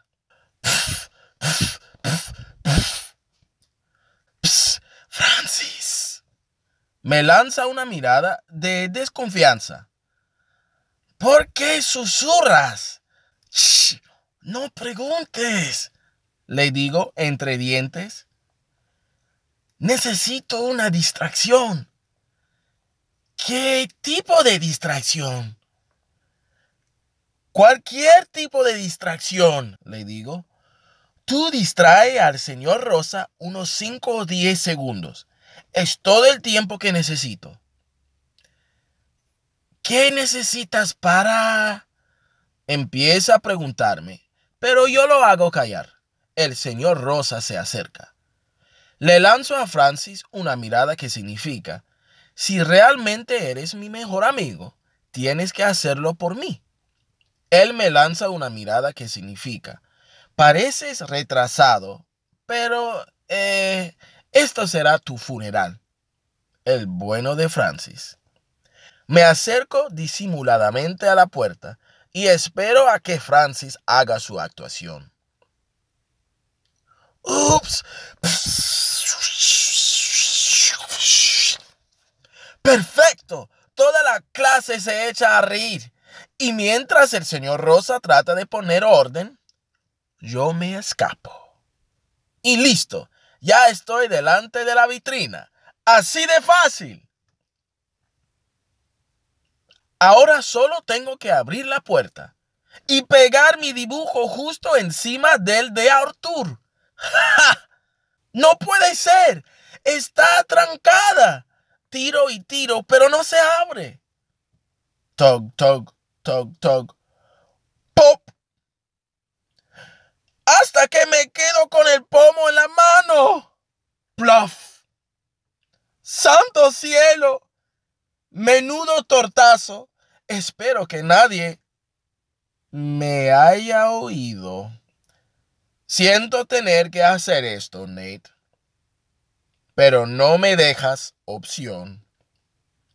¿Y qué se saca el señor Rosa del bolsillo trasero? Eso es un papelito rosa. Entrégaselo a la señorita Zerwicki cuando acaben las clases. Le echo un vistazo al papelito que me entrega donde dice razón del castigo, ni siquiera ha escrito nada. Solo ha dibujado una cara de decepción. ¡Qué artístico! Nate el Grande, único en su clase. Capítulo 8.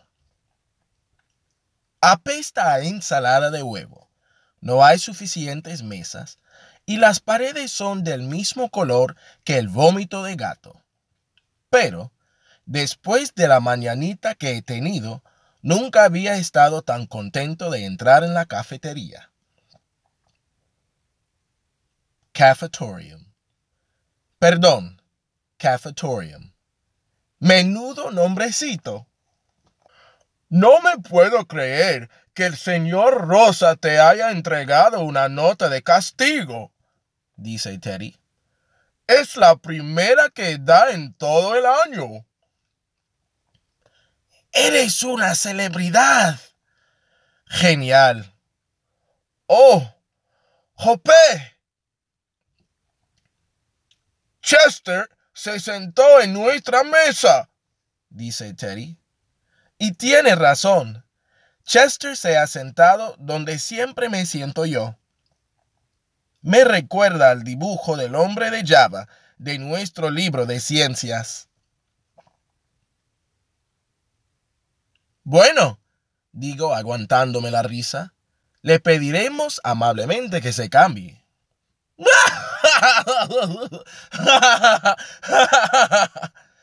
Exacto. Todos sabemos que no hay que pedirle favores a Chester a no ser que quieras perder unos cuantos dientes. Una vez le pegó al psicólogo que se suponía que iba a ayudarlo a controlar su ira. Encontrar otro sitio para sentarnos es algo así como un reto. Veamos algunas de nuestras opciones. La mesa de los atletas. Un lugar genial para comer si te gusta que te den puñetazos en el brazo o que te claven los nudillos en la cabeza. ¿Vas a comerte esas papitas? Scrub. Whack. Fort Knox. Puedes tratar de entrar, pero no lo vas a conseguir. Hola, chicas. Miradas gélidas. Vete. La Tierra Media. Un mundo ocupado por criaturas extrañas y aterradoras. ¿Quieres jugar al trivial de los elfos? Eh... Decidimos sentarnos con nuestro amigo Todd. Todd, amigo mío, me llamo Chad. Ups, lo siento. Nota mental. El niño regordete, pelirrojo y pecoso es Chad, no Todd. ¿Qué lees? le pregunta Francis. El libro de los récords mundiales, dice Chad. ¿Qué oyen mis oídos? ¿Récords mundiales? ¡Mmm! ¡Eh! Acabo de tener otra de mis brillantes ideas. ¿Qué quieres decir con otra? Pregunta Francis en tono guasón. No le hago ni caso y saco el mensaje de la galleta de la fortuna del bolsillo. Aquí no dice superarás a todos tus compañeros de clase. Lo que dices es que superarás a todos los demás. Si consigo un récord mundial, NAP, superaré a todos los demás. Empiezo a ojear el libro de Chad. Tiene que haber algún récord que pueda superar. Solo tengo que encontrar el adecuado. ¿Las uñas más largas? No. ¿El más tatuado? Me parece que no. ¿Hay algún récord para el pelo más ridículo? Pregunta Teddy. Cállate, le digo. Aquí está. El más rápido comiendo. ¿El más rápido comiendo? Pregunta Francis con aire escéptico. Mira, aquí hay un tipo que se zampó 60 perritos calientes en 10 minutos y este se comió 45 porciones de pizza en 10 minutos. Pero no tenemos 45 porciones de pizza. Gracias, no lo había notado. Entonces, ¿con qué podemos batir el récord de el que come más deprisa? Mientras le damos vueltas, algunos chicos se disponen a dejar sus bandejas. Espera, un momento. No puedo oír lo que Francis les dice, pero al cabo de unos pocos segundos vuelve a nuestra mesa con habichuelas verdes. ¿Habichuelas verdes? Tenemos montones de habichuelas verdes, exclama Francis. Es verdad, dice Terry pensativo, porque nadie se las come. De pronto Francis y Terry se ponen a pasearse por todo el comedor preguntando a todo el mundo. ¿Puedo llevarme las habichuelas verdes? ¿Vas a comerte las habichuelas verdes? Y antes de darme cuenta, me encuentro sentado ante un monte Everest de habichuelas verdes. 148 raciones. ¡Pua!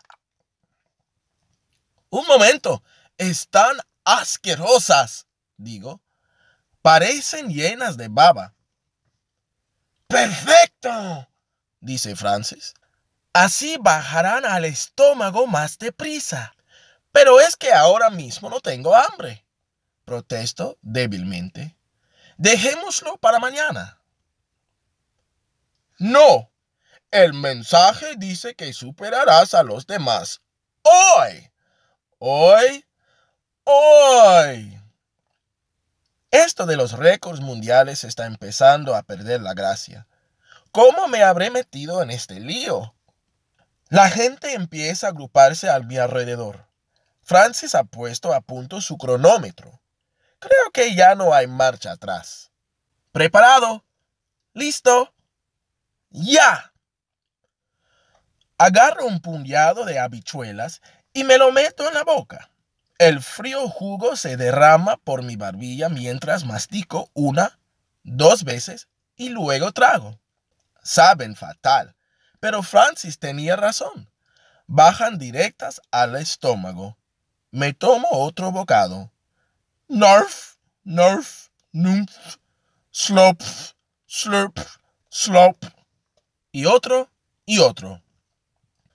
52, 53, 54, 55, 56, 57, 58. Ya ha pasado un minuto. Te falta nueve. ¿Un minuto? ¿Solo llevo un minuto comiendo? Oh, no me encuentro muy bien. Come, come, come. La multitud me anima, pero la cosa no funciona. Tengo náuseas y estoy algo mareado. Hay restos de habichuelas medio masticadas por todas partes. Al cuerno el récord mundial. Solo espero no devolver delante de toda la escuela. Nate. Dirk.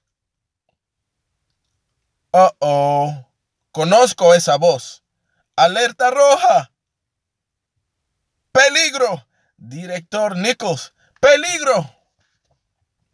Esta mañana, cuando he chocado con él, ha sido muy amable.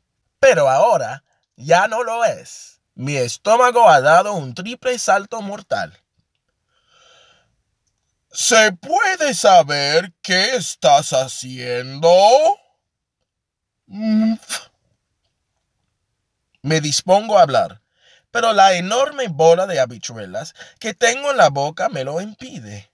Trato de tragármela, pero casi me atraganto. Es demasiado grande.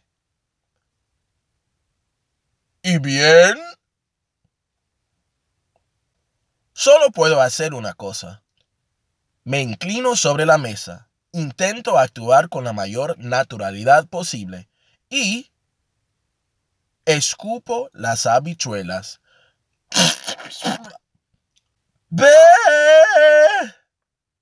Vale, vale, tranquilos. Tampoco es para tanto. Un montón de habichuelas verdes masticadas tiene casi la misma pinta que un montón sin masticar.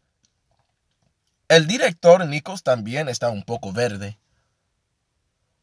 Solo estaba esto comiendo, le digo. ¿Comiendo? repite él. ¿Con toda la clase de sexto animándote?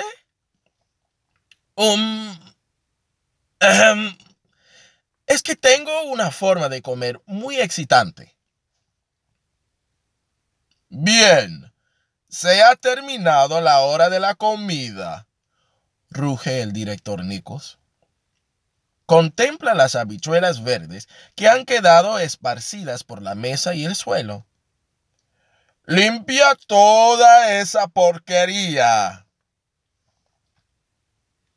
se encamina hacia la puerta y en menos de un segundo veo exactamente lo que va a ocurrir. Parece que sucede a cámara lenta, pero no puedo hacer nada para impedirlo. El pie del director Nichols se posa en un charco de jugo de habichuelas y... ¡Zwip! ¡Bam! Durante un minuto no puedo decir si está vivo o muerto. A mi despacho. Ahora. Tengo suerte. Está vivo. Y ahora sí me siento realmente mal. Nate, el grande, único en su clase. Capítulo 9 tanto les costaría poner una silla más blandita. Es como estar sentado en la tapa del inodoro. Director, trato de hacer caso omiso del hormigueo que martiriza mis piernas. Si el director Nichols no termina pronto de gritarme, se me entumecerá todo lo que tengo por debajo de mi ombligo. Me está leccionando acerca de las habichuelas verdes menudo aburrimiento.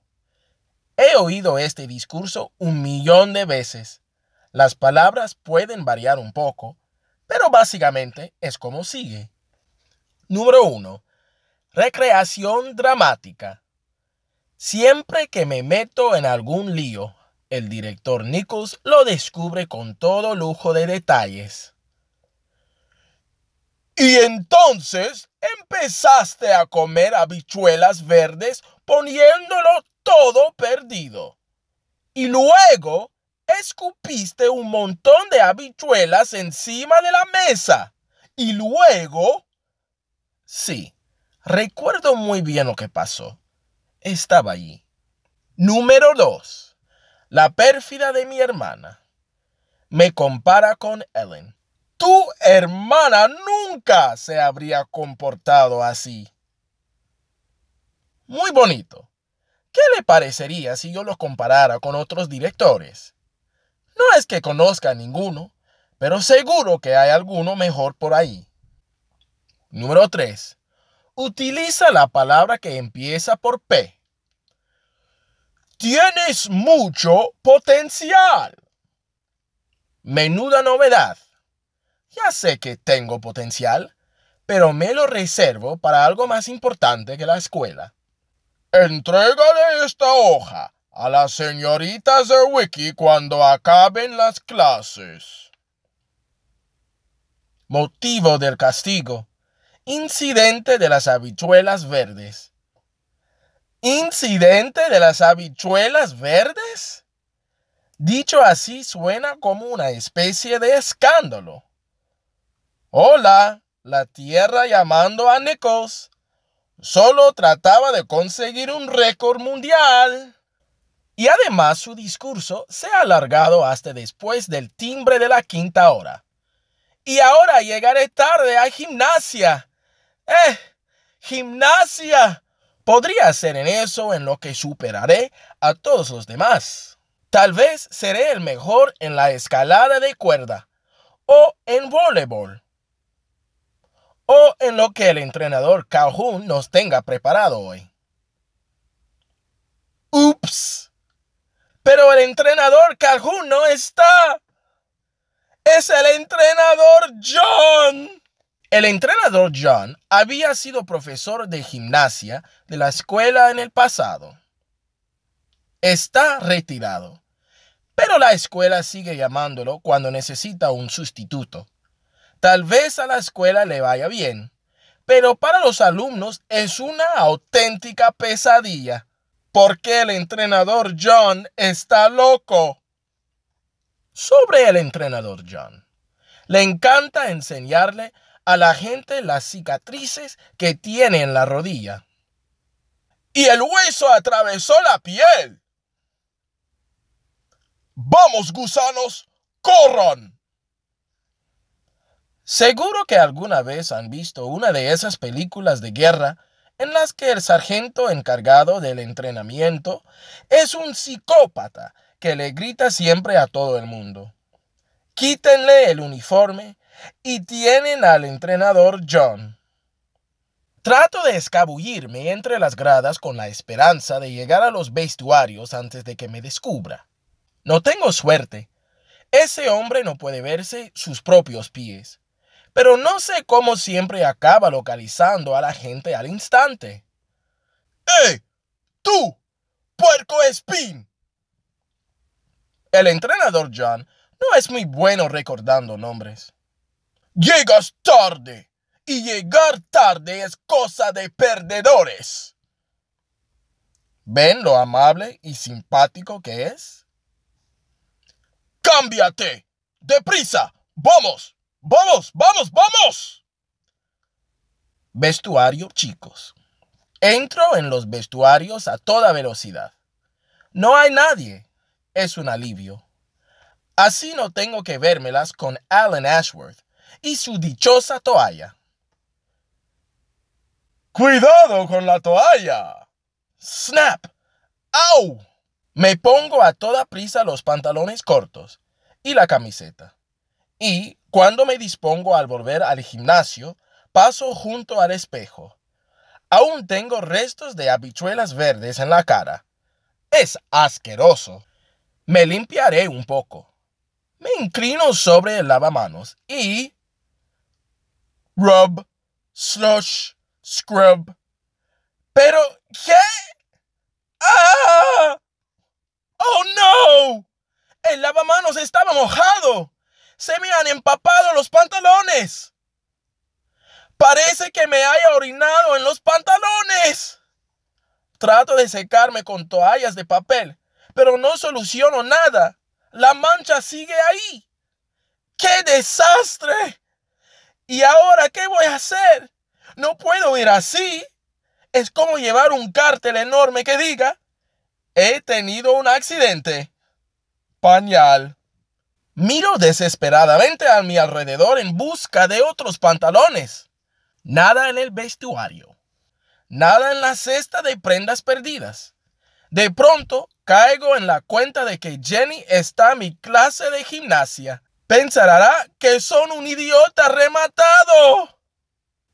Prendas perdidas. ¡Eh! ¡Bólido! ¿Qué haces? ¿Poniéndote un smoking?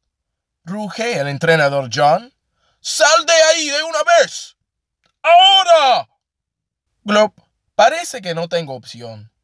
Pero, un momento. Hay una bolsa de deporte debajo de un banco, cerca del despacho del entrenador. Y diría que de ella sobresalen unos pantalones cortos. Sí, qué suerte. Me quito mis pantalones mojados y saco los secos. No me importa de quién sean, ni de qué color, ni tampoco de qué talla. Talla pequeña, talla mediana, talla larga, talla extra larga, talla extra extra larga. Vale, tal vez por la talla sí debería preocuparme. Dios mío, esto parece la ropa de un payaso. No me va ni de broma. Muy bien, chico. Voy a contar hasta diez. Uno, dos, tres. ¡Cielos! El entrenador John preparándose para entrar. Tengo que encontrar el modo de que estos pantalones no se me caigan. Y deprisa. Cuatro, cinco. Ajá, hay un montón de toallas junto a las duchas. Cogeré unas cuantas. Seis, siete, ocho. Vamos, vamos. Venga. Rápido. Deprisa.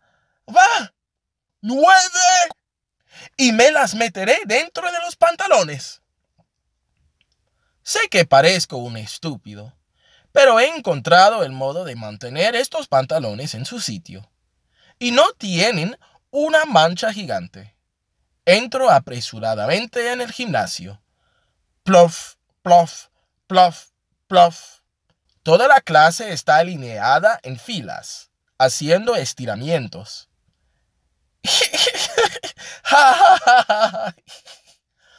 Oigo una carcajada, luego otra.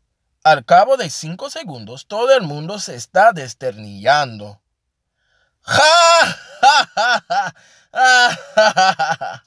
Todo el mundo excepto el entrenador John. ¿Es esta tu idea de una broma? ¿Una broma? No tengo ni idea de qué habla, pero tiene pinta de querer arrancarme el brazo. Sacudo la cabeza, por miedo a decir algo inadecuado. Él levanta poco a poco el brazo y señala mis pantalones. Lo miro, aún confundido, y entonces lo veo. E, J. Una E y una J blancas en los pantalones del entrenador John. Empiezo a tener un mal presentimiento. Bajo la mirada y las veo en mis pantalones. Las mismas letras EJ en blanco. Llevo los pantalones del entrenador John. Y de pronto lo comprendo. El entrenador John cree que me estoy burlando de él. Que me he disfrazado de una especie de mini entrenador John. E, esto no es lo que parece. He tenido que ponerme estos pantalones porque... era una emergencia. Y eran tan grandes que se me caían. Así que he cogido algunas toallas y... No sé si puede escucharme. Yo apenas me oigo a mí mismo. y todo lo que veo es la cara gigante del entrenador, adquiriendo unas ocho tonalidades diferentes de rojo. Ya veremos si sigues riéndote, dice el entrenador. Después de haber hecho unos cuantos sprints. Estupendo. Justo el modo en que quería pasar la quinta clase del día, haciendo sprints. Con los pantalones cortos del entrenador John, con el estómago lleno de habichuelas verdes. Oh, oh. Nate, el grande, único en su clase. Capítulo 10. Gimnasio. ¡Pam! Otro papelito rosa. Esto es ridículo. El entrenador John me ha castigado, exclamó enojado. Al parecer no le bastaba con obligarme a correr como un poseso. ¿Qué pone? Falta de respeto, leo en voz alta. Eso no es justo. ¿Acaso ha tenido el respeto por mí? Ni siquiera se ha molestado en escribir mi nombre. Me llama Niño del pelo raro. ¿Qué es tan gracioso? Le suelto. Tiene razón, dice Francis. Tienes el pelo raro. Parece de goma. Pat, pat, pat. Lo tienes como tieso. Genial. Y ahora, por si fuera poco, mis supuestos mejores amigos me tocan la cabeza como si yo fuera un perro gigante. Este día está empezando a ser desalentador. Si seguimos así, refunfuño, tendré que incluir el día de hoy en la lista de los peores días de mi vida. Los peores días de mi vida. Nate. Número uno. El día de mi séptima fiesta de cumpleaños. Buster Glick me puso un ojo morado jugando al Twister. Puff. ¡Oh!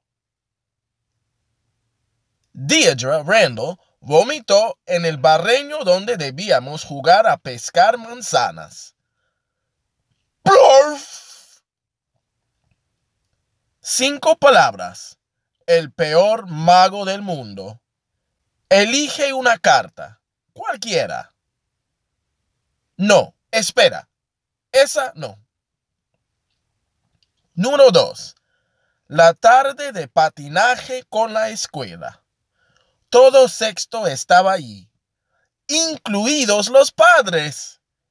Resultado. Humillación total. ¡Oh! ¡Eh, Nate! Menudo estilazo el de tu padre. Número 3. El baile de primavera. Fue el día en que Jenny y Arthur empezaron a salir oficialmente, mientras yo no podía librarme de Kim Cresley. ¡Oh! ¡Oh, Arthur! Deja ya de pisarme. Gurk. Número 4. Excursión de sexto. Tuve que aguantar la bronca de un guardabosques chalado. ¡Hey, muchacho! ¿Qué haces metido en hiedra venenosa? Descubrí demasiado tarde que el cerrojo del lavabo portátil estaba roto. ¡Ya! ¡Uy! Perdona, Ned. Un momento dice Francis. ¿No puedes tener un montón de peores días de tu vida? Por definición, solo puede haber un solo peor de cada cosa. ¿Quieres decir cómo el peor tirón de pelo? ¿Qué?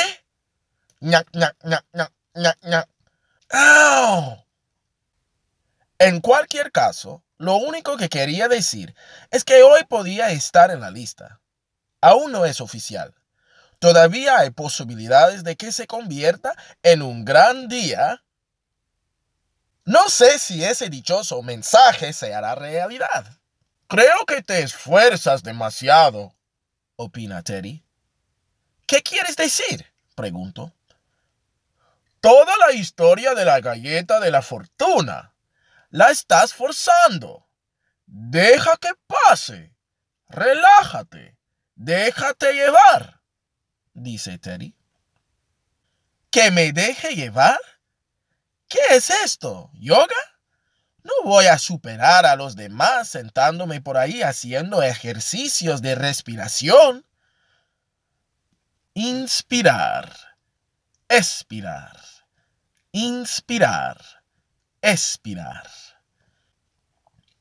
Vamos, Movámonos, chicos, dice Francis.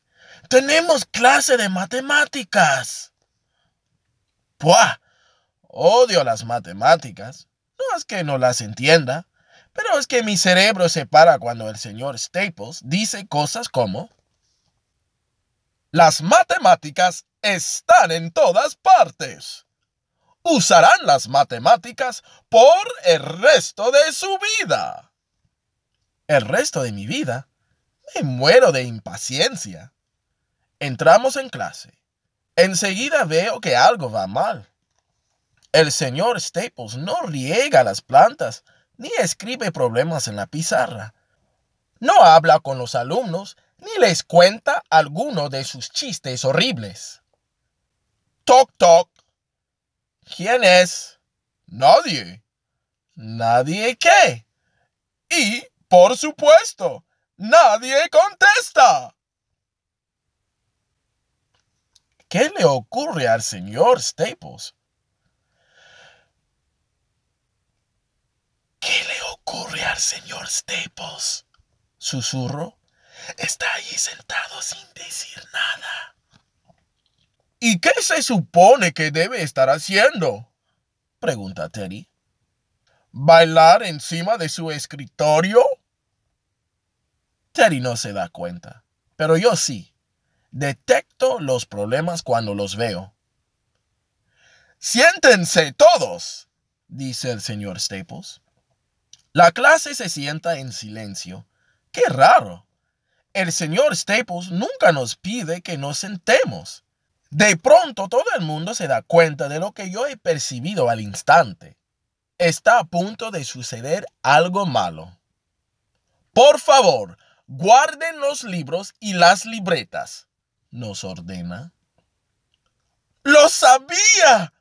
¡Examen sorpresa! Tienen 30 minutos, dice el señor Staples, repartiendo los exámenes. Por favor, lean las preguntas atentamente. Bla, bla, bla, bla, bla, bla, bla, bla, bla, bla, bla. Mientras se aleja, entre las mesas le echo un vistazo rápido al examen. Nombre. Busca el número que falta. Número 1. X dividido por 43 son 1150. Número 2. Y dividido por 50 son 92. Número 3. N dividido por 14 son 714. Número 4. T dividido por 60 son 49.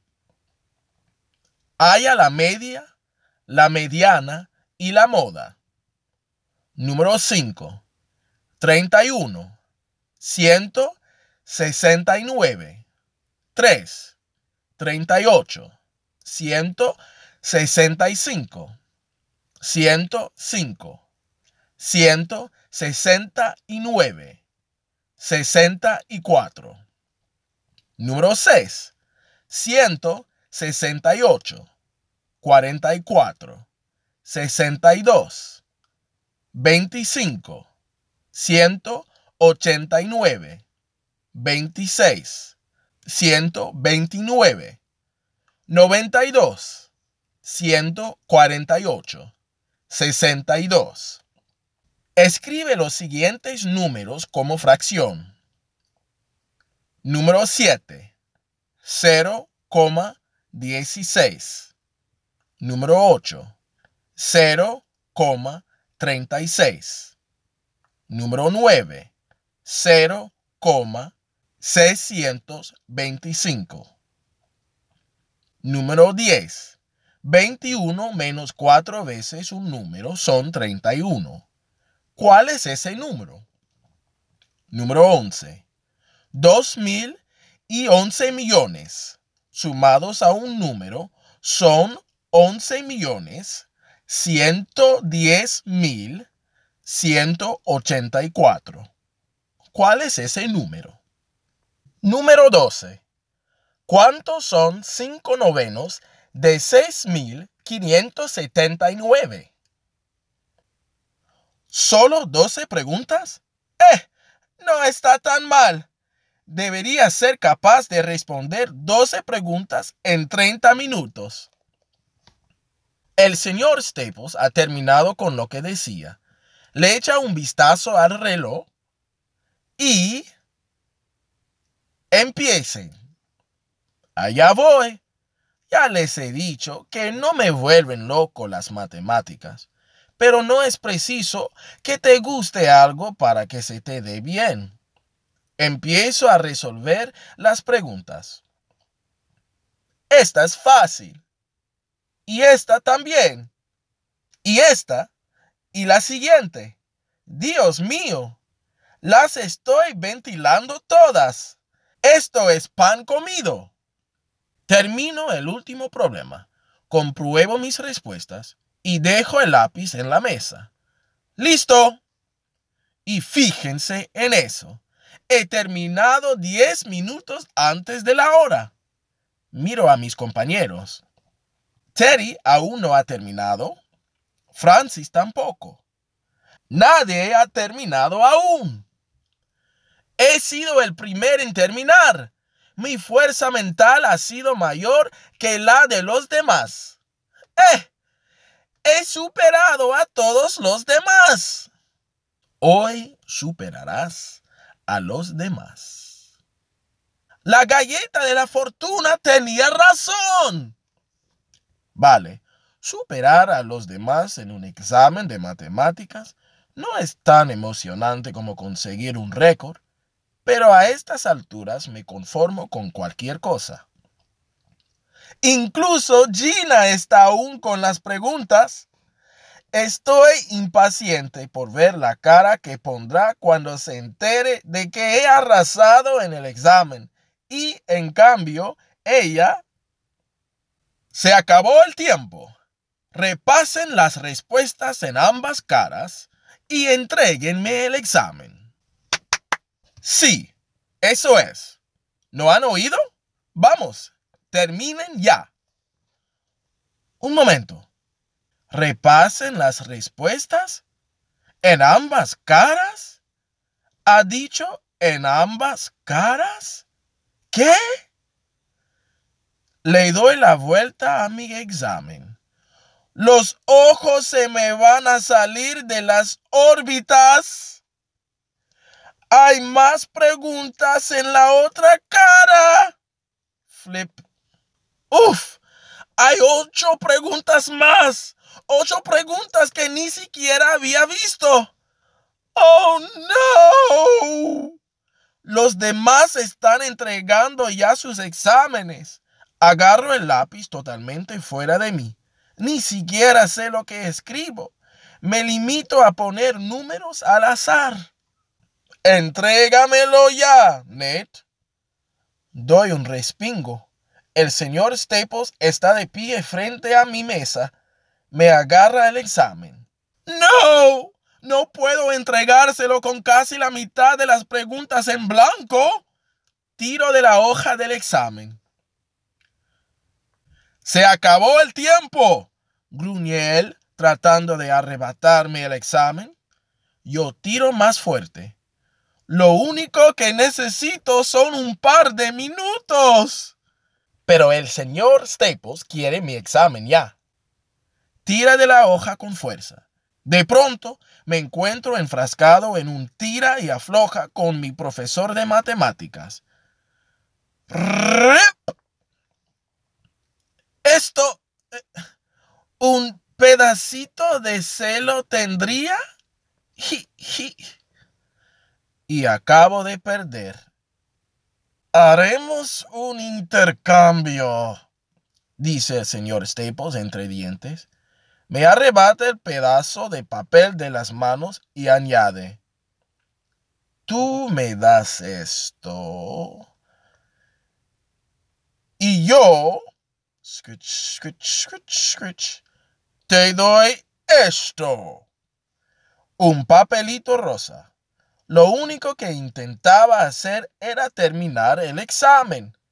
Y, en lugar de conseguirlo, me gano otra nota de castigo.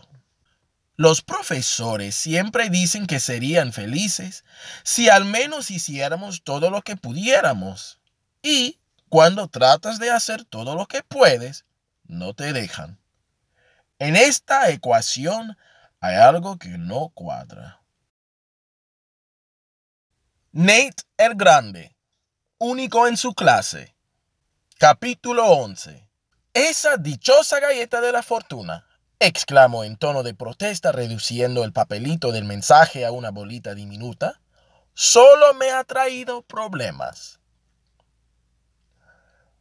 Pero a los demás nos lo ha hecho pasar bomba. ¿Cómo se lo haría pasar tu cara a mi puño? Le suelto. Nate, el día aún no se ha acabado, dice Francis. El mensaje de la galleta aún podría hacerse realidad en ciencias. Bah. Despierta, hombre, le digo. En ciencias no pasa nunca nada bueno. No con el rey de la risa dirigiendo el espectáculo. ¿El rey de la risa?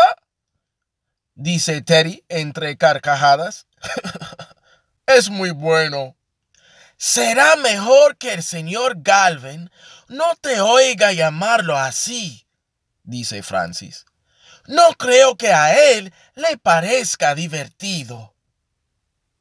A él nada le parece divertido, exclamo yo.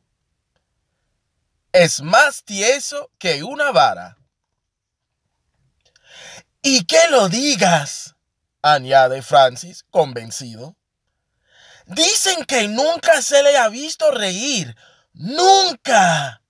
Tal vez le han extirpado el sentido del humor. Hmm. Se me encendió una lucecita. ¡Eh! Ya lo tengo, digo con excitación. Ya sé cómo voy a superar a los demás. Voy a hacer algo que nadie ha hecho jamás. Haré reír al señor Galvin. Francis me mira como si me hubiera vuelto loco. ¿Te has vuelto loco? me dice. ¿Te acuerdas cuando estuvimos viendo los anuarios en la biblioteca? Pues claro que me acuerdo. Tratábamos de encontrar fotos divertidas de los profesores. Cortes de pelo ridículos, ropas anticuadas, cosas así. Desenterramos un montón de anuarios de 30 o 40 años atrás. Fue súper divertido. ¡Mira la señorita Godfrey! Entonces solo tenía una papada el señor Galvin lleva enseñando en la escuela desde el periodo jurástico. Otro de mis apodos para él es Hey Rex. Así que encontramos montones de fotos suyas. Había fotos formales. ¿Alguna vez el señor Galvin ha sido informal? Señor Galvin, ciencias. ¿Había otras más espontáneas? Claro que no mucho, porque él es como un fósil. No se acerquen. El lacito es radioactivo. Incluso había una foto de él durante su fase de trasplante de pelo. Pero todas las fotos tenían una cosa en común. El señor Galvin no sonreía en ninguna de ellas. Si nadie lo ha visto reír nunca, pregunta Francis mientras nos dirigimos al laboratorio de ciencias, ¿cómo esperas conseguir que sonría? Menudos pinchos. Eh, si hay alguien que puede hacerlo, le digo, ese soy yo. Conmigo la gente se troncha. Sí, pero no porque te lo propongas, dice Terry entre risas. ¡Ring! El timbre es la señal. Que empiecen las risas. Decido empezar un poco de humor visual del clásico. No hay nada como unos cuantos lápices estratégicamente colocados. ¡Hola! ñac, ñac, ñac. Siéntate. Vaya, digo mientras me dirijo a mi mesa, no ha habido ninguna reacción. Aquí tienes una reacción, dice Teddy. No volveré a pedirte prestado un lápiz nunca más. Eso ha sido solo un calentamiento, digo. Fíjate en esto. Plan B. Hagan el favor de abrir los libros por la página, empieza a decir el señor Galvin. Y entonces levanto la mano. Señor Galvin, quería hacerle una pregunta sobre ciencias, digo. ¿Cómo podemos distinguir un cromosoma macho de un cromosoma hembra? Examinando sus genes. Un momento. ¿Ha sido eso la sombra de una risa? ¿Se ha reído solo medio segundo? Siéntate. Creo que no. Psst. Señor Comedia, susurra Francis. Eres la bomba. Déjame en paz, murmuró. Aún no he empleado mi mejor material. Arranco una página de mi libreta de notas. Es un cómic del Dr. Cloaca, en el que he estado trabajando, y ya casi está listo. Saco rápidamente mi rotulador y le doy los últimos toques a la viñeta final. Seguro que con esto se desternilla. Señor Galvin, le digo acercándome a su mesa, quería enseñarle algo no levanta la mirada. ¿Tiene algo que ver con las ciencias? Por supuesto, respondo. Le entrego el cómic y añado. El personaje principal es un médico. Las locas aventuras del doctor Cloaca. Continúa. Capítulo 17. Un día en el quirófano. Doctor, Estoy un poco nervioso. Vamos, vamos. Está usted en buenas manos. Soy un cirujano brillante. Bueno, tal vez brillante no, pero sí muy bueno. Podría hacer esta operación con los ojos cerrados. Enfermera, un pañuelo. ¿Pañuelo? Y ahora páseme el chisme ese afilado o como se llame. Fin. Nate Wright, genio del cómic. No se ríe. En realidad hace más bien lo contrario. Me estás haciendo perder el tiempo, jovencito, me dice. El papel y el rotulador quedan requisados. Ploc. En esta clase solo se usa el lápiz. Se mete mi rotulador, el que empleo para dibujar, en el bolsillo de su camisa. ¡Jopé! No lo volveré a ver más. Vuelvo a mi sitio arrastrando los pies. Estás de mala racha, susurra Terry. Parece que no consigues tocarle la fibra sensible. ¿La fibra sensible? ¿La fibra sensible? Vale la pena intentarlo. Parece que lo demás no funciona. Hay un plumero en el armario del material. El señor Galvin lo emplea para limpiar los tubos de ensayo y los vasos del laboratorio. Con cuidado, tengo que actuar con naturalidad. Me planto tranquilamente detrás de él. ¡Ñac! Y... Tiki, tiki, tiki. ¿Se puede saber qué estás haciendo? Solo, solo estaba... Bueno, empiezo a decir. ¡Silencio! ruge él. Vete a tu sitio y no te muevas de ahí. Y si te oigo siquiera moverte, estarás castigado una semana entera. ¿Acaso tengo opción? Me dirijo pesadamente a mi mesa, me dejo caer en la silla y me limito a mirar hacia adelante. A la pequeña mancha que el señor Galvin tiene en la camisa. ¿Este estadio qué? Bla, bla, bla, bla, bla, bla. Como el estadio larval. Bla, bla, bla, bla, bla. Cientos de huevos blancos y... Bla, bla, bla, bla, bla. Crecen de forma espectacular como... Bla, bla, bla, bla, bla, bla. La mancha se hace más y más y más grande. Mi rotulador debe de habérsele caído la tapa. Y ahí viene lo gracioso. Él ni siquiera se ha dado cuenta. Sí, ahora sí. Me mira fijamente. ¿Te parece divertido, Nate? Sé que debería haber dicho que no, o al menos poner cara de póker, pero hay algo en esa descomunal mancha de tinta que me parece ¡Divertidísimo!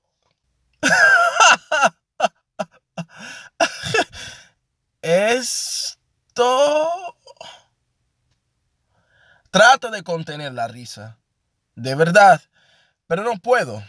Y cuando por fin consigo controlarme, el señor Galvin me entrega un papelito rosa para cinco horas de castigo. Vaya. Tal vez algún día recordaré todo esto y me reiré. Nate, el Grande, único en su clase. Capítulo 12. Son las 2.59. La escuela termina exactamente dentro de un minuto. Normalmente, a estas horas estaría saltando de alegría. Estaría contando los segundos, listo para saltar de la silla, mientras hago planes sobre cómo pasar el resto de la tarde. Jugar con Teddy al rebota, rebota, y en tu trasero explota. Klein. ¡Ja! Y en tu trasero explotó. ¡Rebotó! O pasarme por Classic Comics para comprarme el último número de Femme Fatality. La mejor heroína que ha existido. Jamás. Este te va a encantar. Empieza en el planeta de hielo Gamma X3. ¡No me lo cuentes! Pero hoy nada ha sido normal desde, desde, hmm, Supongo que debe de haber sonado el timbre. Todo el mundo se va. Salen del edificio. Se van a casa. Y no estoy hablando solo de los niños. Hasta mañana, Nate. Pásalo bien. Pásalo bien. ¿Me toma el pelo? ¿Cómo lo voy a pasar bien? Sabe perfectamente que estaré toda la tarde aquí encerrado, porque es uno de los que han empezado el complot de las notas de castigo. A veces los profesores son unos zopencos. Y cuando digo a veces, quiero decir siempre. La escuela se vacía en un abrir y cerrar de ojos. Y, sin casi darme cuenta, solo quedo yo.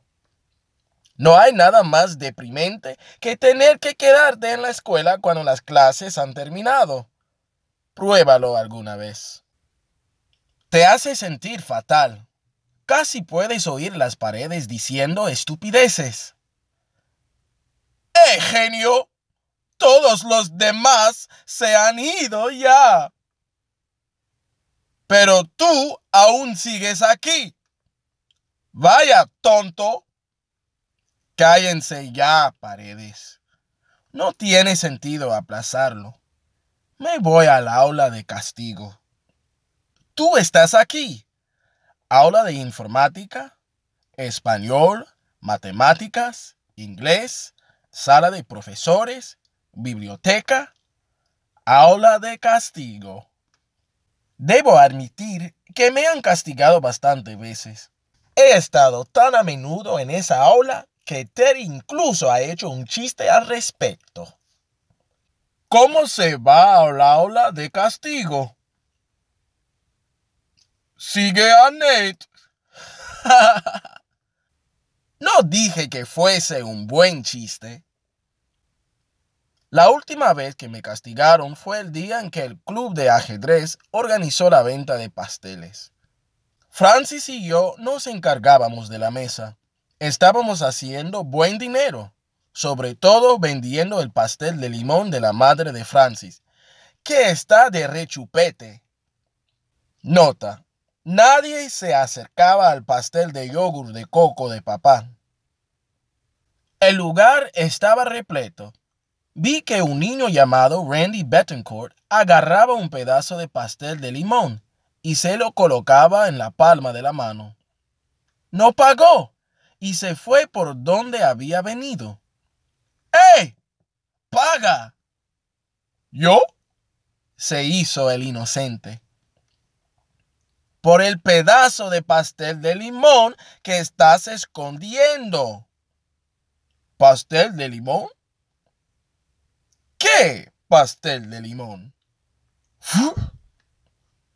Arrojó a lo lejos el pedazo de pastel y... ¡Puff! Le dio a la señorita Godfrey.